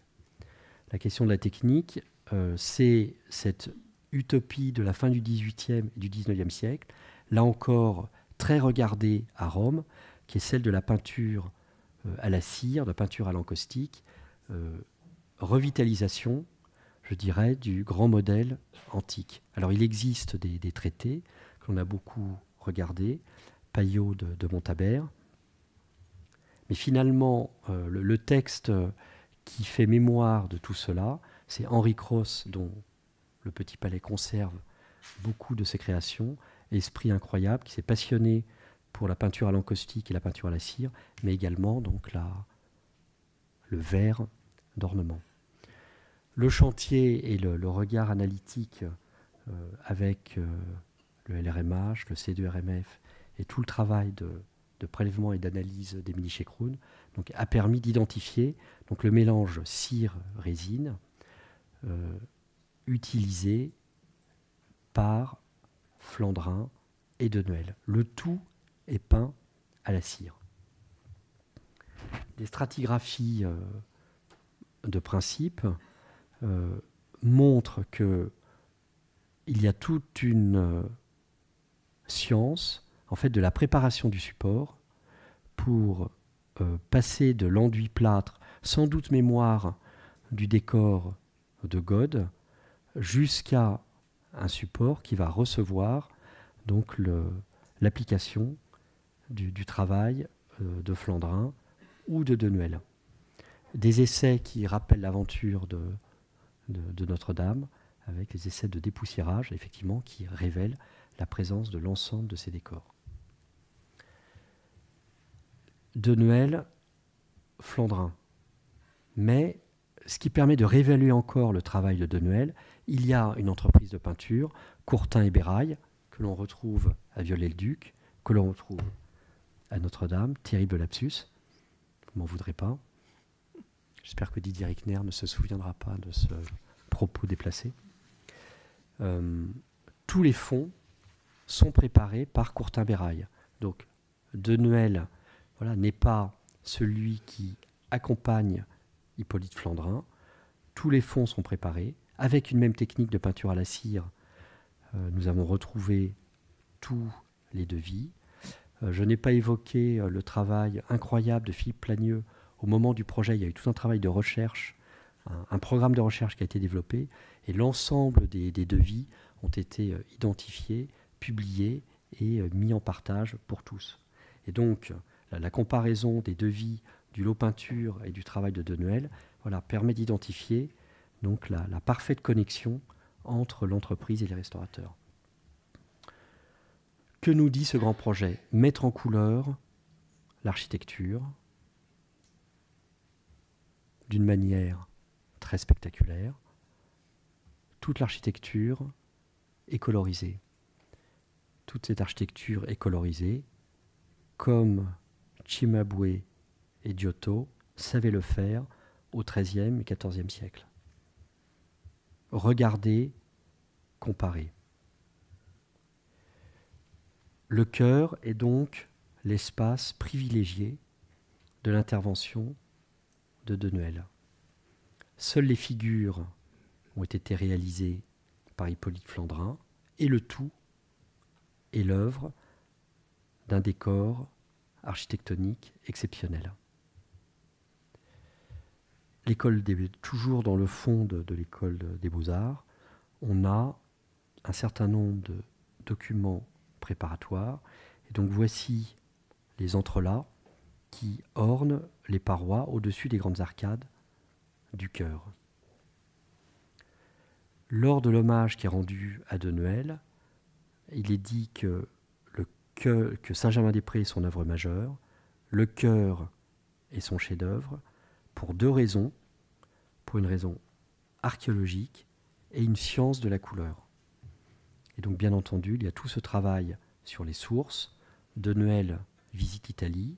De Noël, à son retour, il y a un problème de date parce qu'en 1842, quand commence le chantier, il devrait être encore en Italie. Faisait-il des allers-retours? Premier relevé qu'il fait à son retour, sans sa main sur Gartempe. Et donc, il va multiplier les relevés dans les grandes églises médiévales française. Voici ce cœur extraordinaire. Le travail de Flandrin, le collège apostolique, donc les douze apôtres se développent dans le cœur. Archange ou chérubin,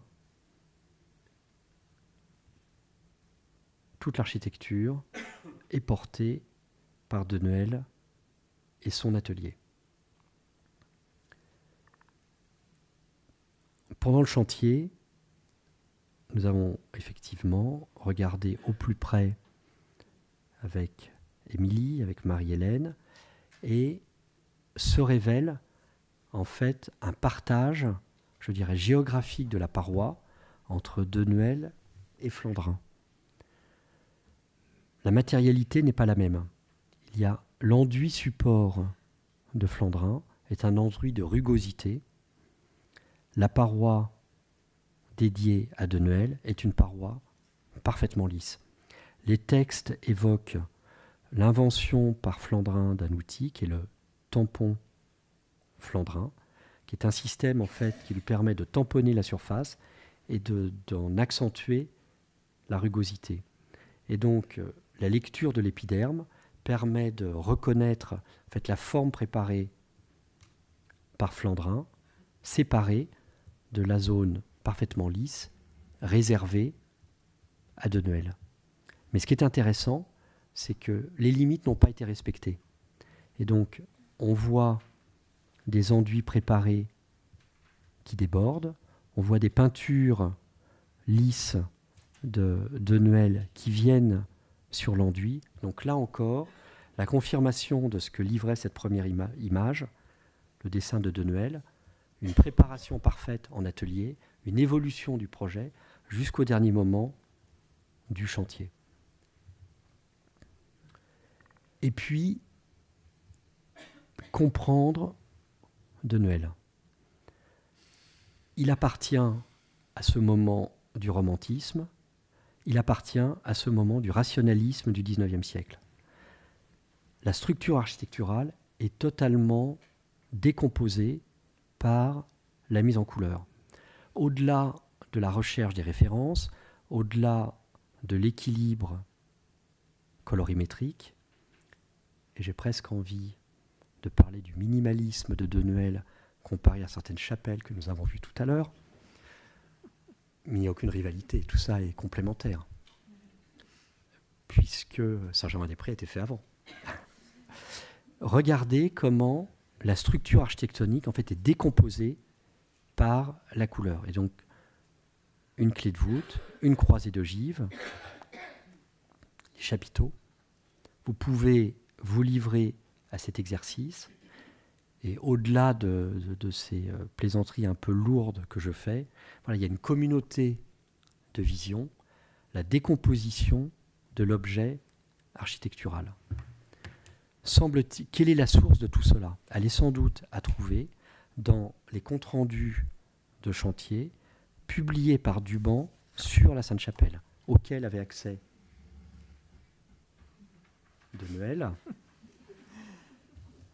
il est temps que vous alliez tous déjeuner. Et je termine. Donc, alors, je termine de manière un peu brute. Donc, l'architecture est, et peut-être euh, cela montre bien le regard de Baltard. Ce serait peut-être la conclusion.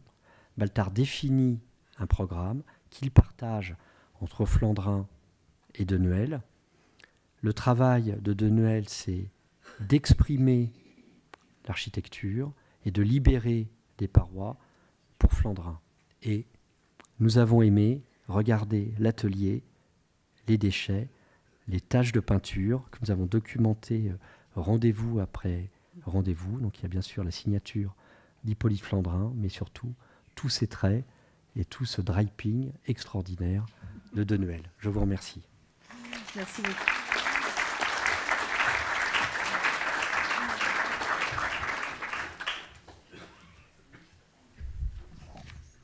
Est-ce qu'il y a des questions pour nos deux intervenants Il était prévu quelques images par Gwendoline Tepo sur la chapelle d'Axe, mais euh, je me suis auto-censuré. Mais si vous les réclamez. je ne sais pas, Véronique Oui. Bon, oui. Bon, on, on ira voir la chapelle d'Axe. Merci beaucoup. Est-ce qu'il y a des questions? Sinon, je laisse la, parole à Véronique qui va, qui va conclure.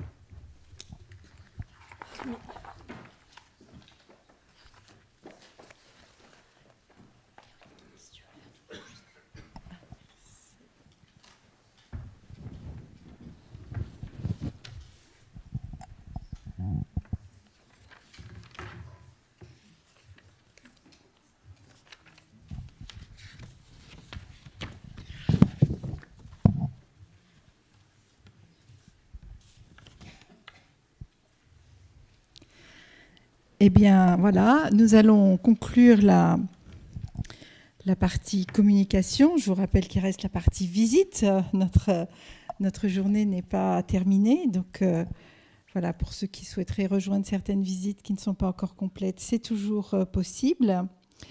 Alors, euh, bien sûr, je voulais en tout premier lieu remercier les intervenants et rappeler un petit peu la richesse de ce que nous avons pu voir pendant, pendant ces, ce, jour et demi d'intervention.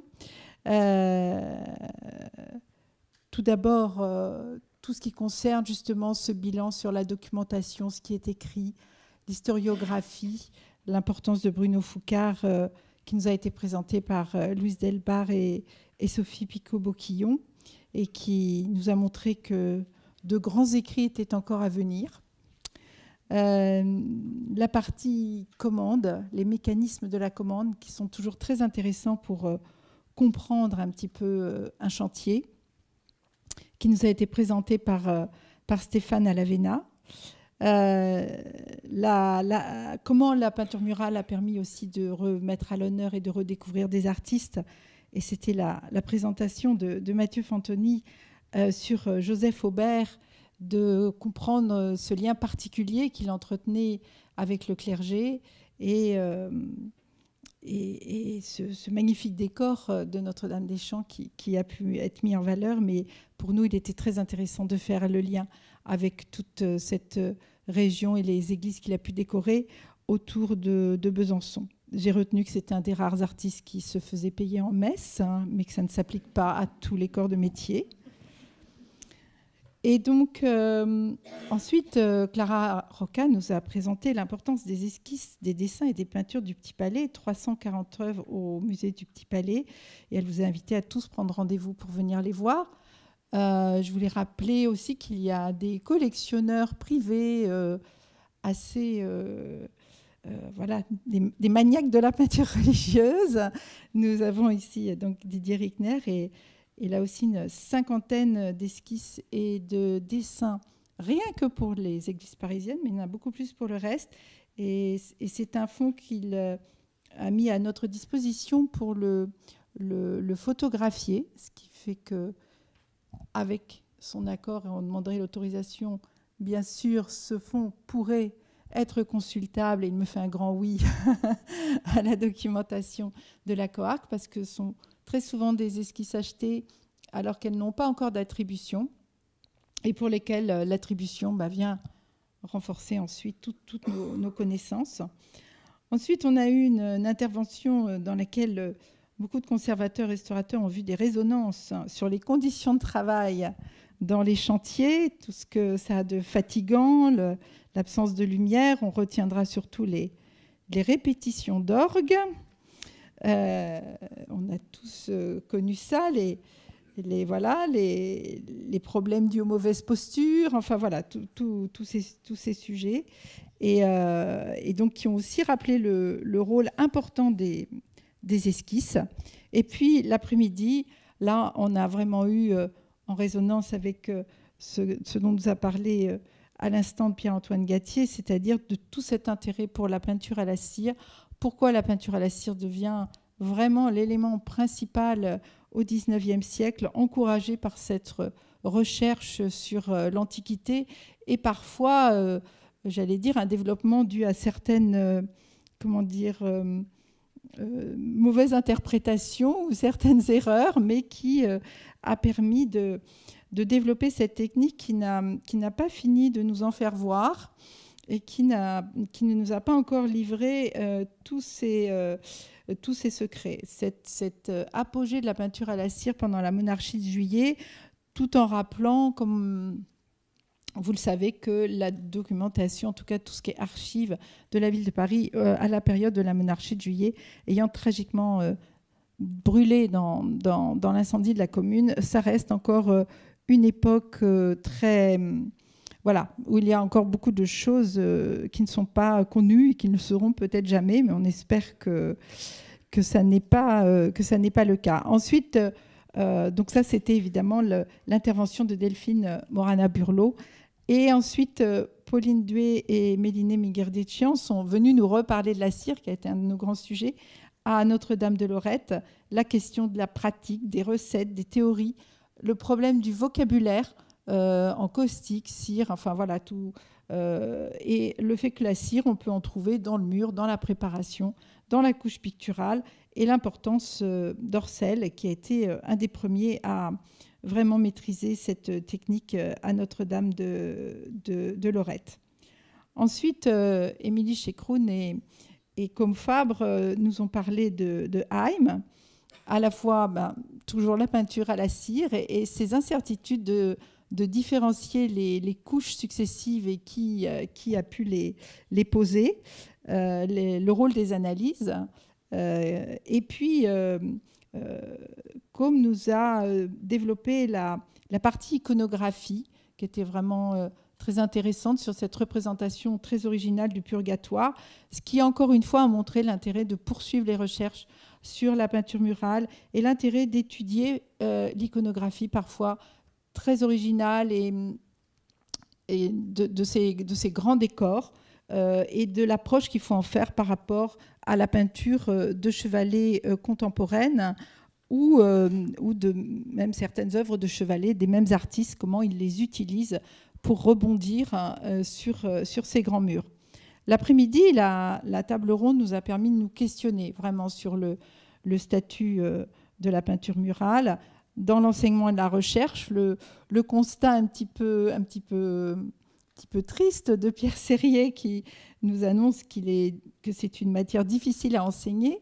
Euh, le constat aussi qui montre que dans les grands derniers ouvrages plus généraux parus, ben, on retrouve très peu de mentions de ces grands décors et toujours les mêmes. Euh, de la croix euh, en tête et que donc c'est quelque chose auquel les étudiants ont peu accès vu qu'il y a assez peu d'ouvrages, hormis évidemment l'ouvrage de, de, qui reste la référence, c'est celui de Madame Almios-Saunier, et sur les Nazaréens, euh, peu de thèses. on a salué le courage des thésards sur ces artistes, et donc de, Charlotte qui, est ici, et encouragé à, toujours à, faire des, des, recherches. Voilà. Euh, ensuite, nous avons parlé de, la question de la reconnaissance patrimoniale de la peinture murale au XIXe siècle, qui euh, s'est fait euh, au titre des biens immeubles, mais souvent parce que l'édifice était déjà protégé pour d'autres raisons, en soulignant le cas rare d'une peinture qui aurait été protégée pour elle-même et non pour le bâtiment, cas unique en France jusqu'à présent. Ensuite, cette vague de voilà, un petit peu d'abandon de, de, la protection de, des édifices fin 19e qui a pu reprendre récemment, puisque nous avons eu beaucoup euh, d'églises parisiennes protégées euh, durant ces euh, dernières dizaines d'années. voilà. Et puis, avec Corinne Bélier, nous avons parlé de cette question mais comment valoriser la peinture murale dans le cadre d'expositions temporaires ou dans un musée en s'appuyant sur le cas évidemment unique de la valorisation des peintures médiévales, enfin des copies de peintures médiévales euh, à la Cité de l'Architecture, mais en essayant de se demander, bah, justement, quand il y a une monographie d'artiste, comment faire valoir cette, cette partie euh, de son œuvre euh, au sein d'une exposition qui toujours du coup un petit peu, euh, un petit peu plus oublié parce que c'est toujours plus facile évidemment d'exposer euh, les tableaux de chevalet. Ce, matin, euh, on a bien vu avec Pauline Duet et, Alina Moscalic de Tal la, question des restaurations. et tous les conservateurs restaurateurs le savent, du 19e et du début du 20e siècle, parfois peu ou pas documenté. C'était le cas là pour la, la chapelle euh, Saint-Jean à Flandrin.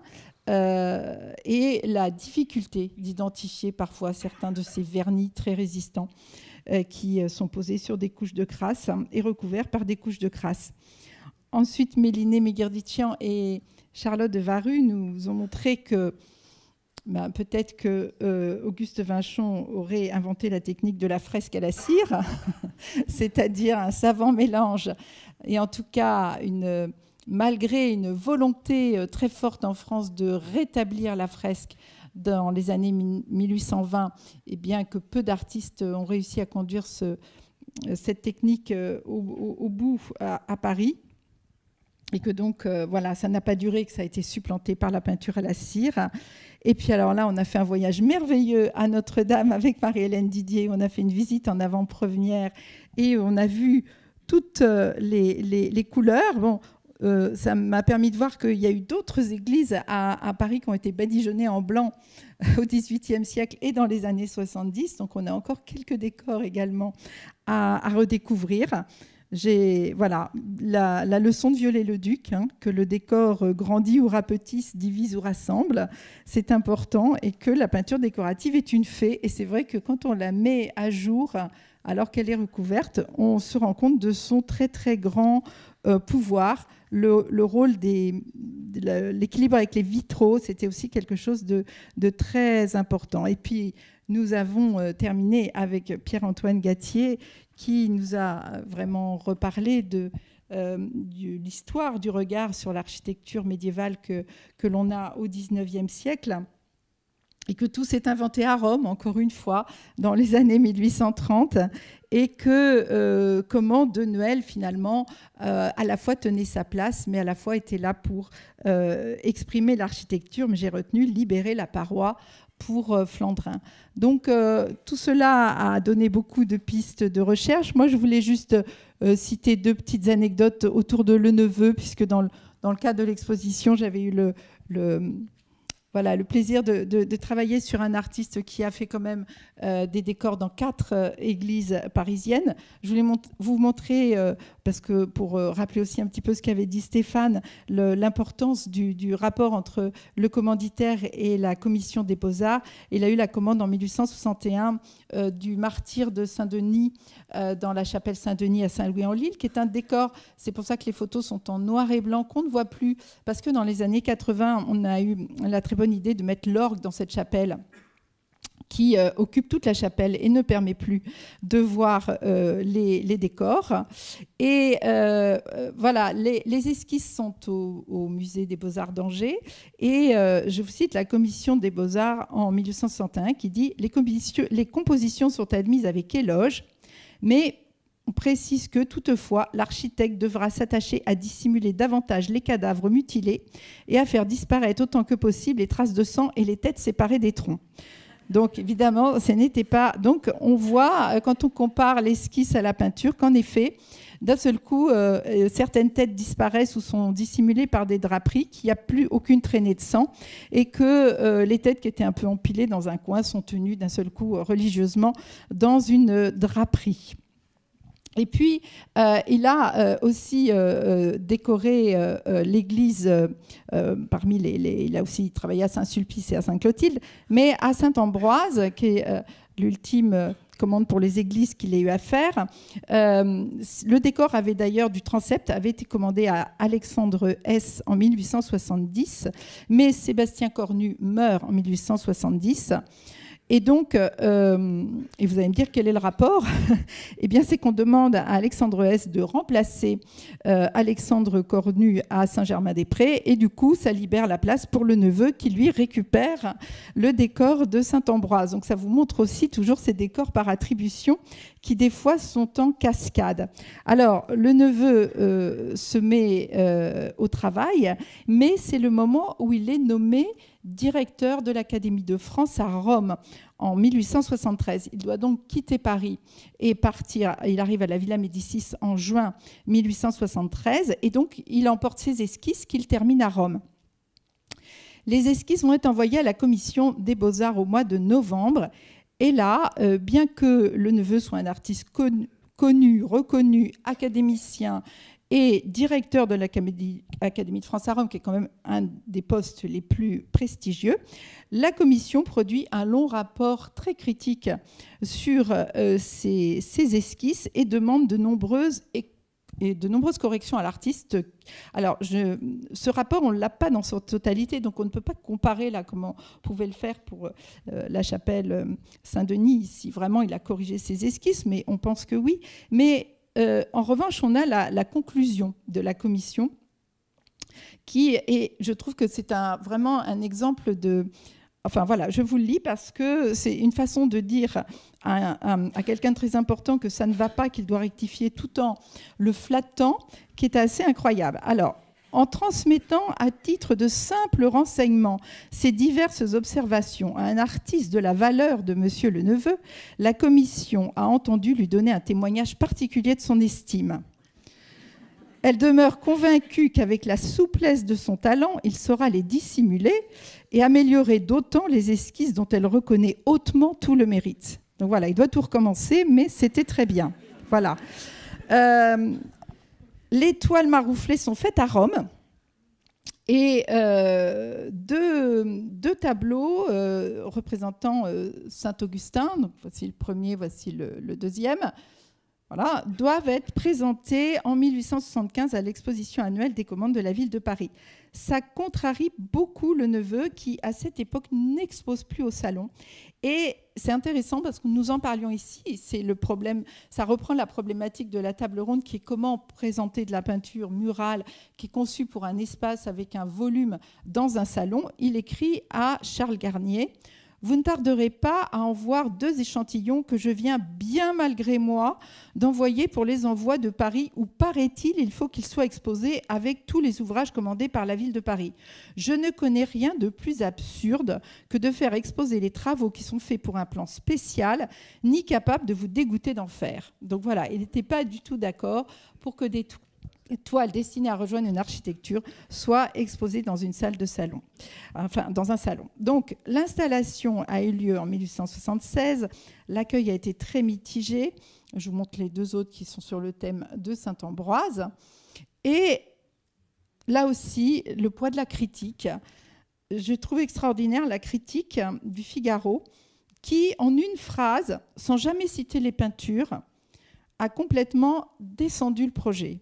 Je vous cite parce que c'est vraiment une, phrase que j'ai trouvée extraordinaire. Deux fresques dans l'église de Saint-Ambroise représentant deux épisodes de la vie de euh, ce saint par, par Monsieur le Neveu. Monsieur le Neveu rajeunit. On dirait non pas qu'il dirige l'école de Rome, mais qu'il vient d'y arriver. Alors, je voudrais passer au petit remerciement évidemment euh, remercier euh, Annick Lemoine, directrice du Petit Palais, de nous avoir accueillis aujourd'hui.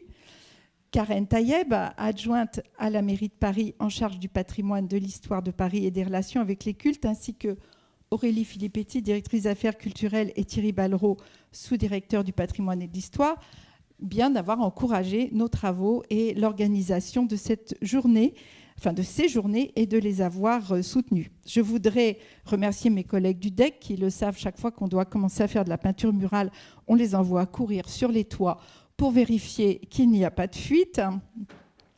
Remercier Marie-Hélène Didier qui accompagne tous, nos travaux et qu'on appelle du jour au lendemain sur les chantiers pour venir valider tel retrait ou tel euh, voilà ou la découverte de, voilà de, choses euh, qu'on peut retrouver. Je voudrais remercier euh, nos mécènes et voilà certains sont présents avec nous. La, la Fondation Frédéric de Sainte-Opportune, la FAP, la Sauvegarde de l'art français et le World Monument Fund qui sont vraiment nos quatre principaux mécènes pour leur accompagnement et, et, la confiance qu'ils nous font.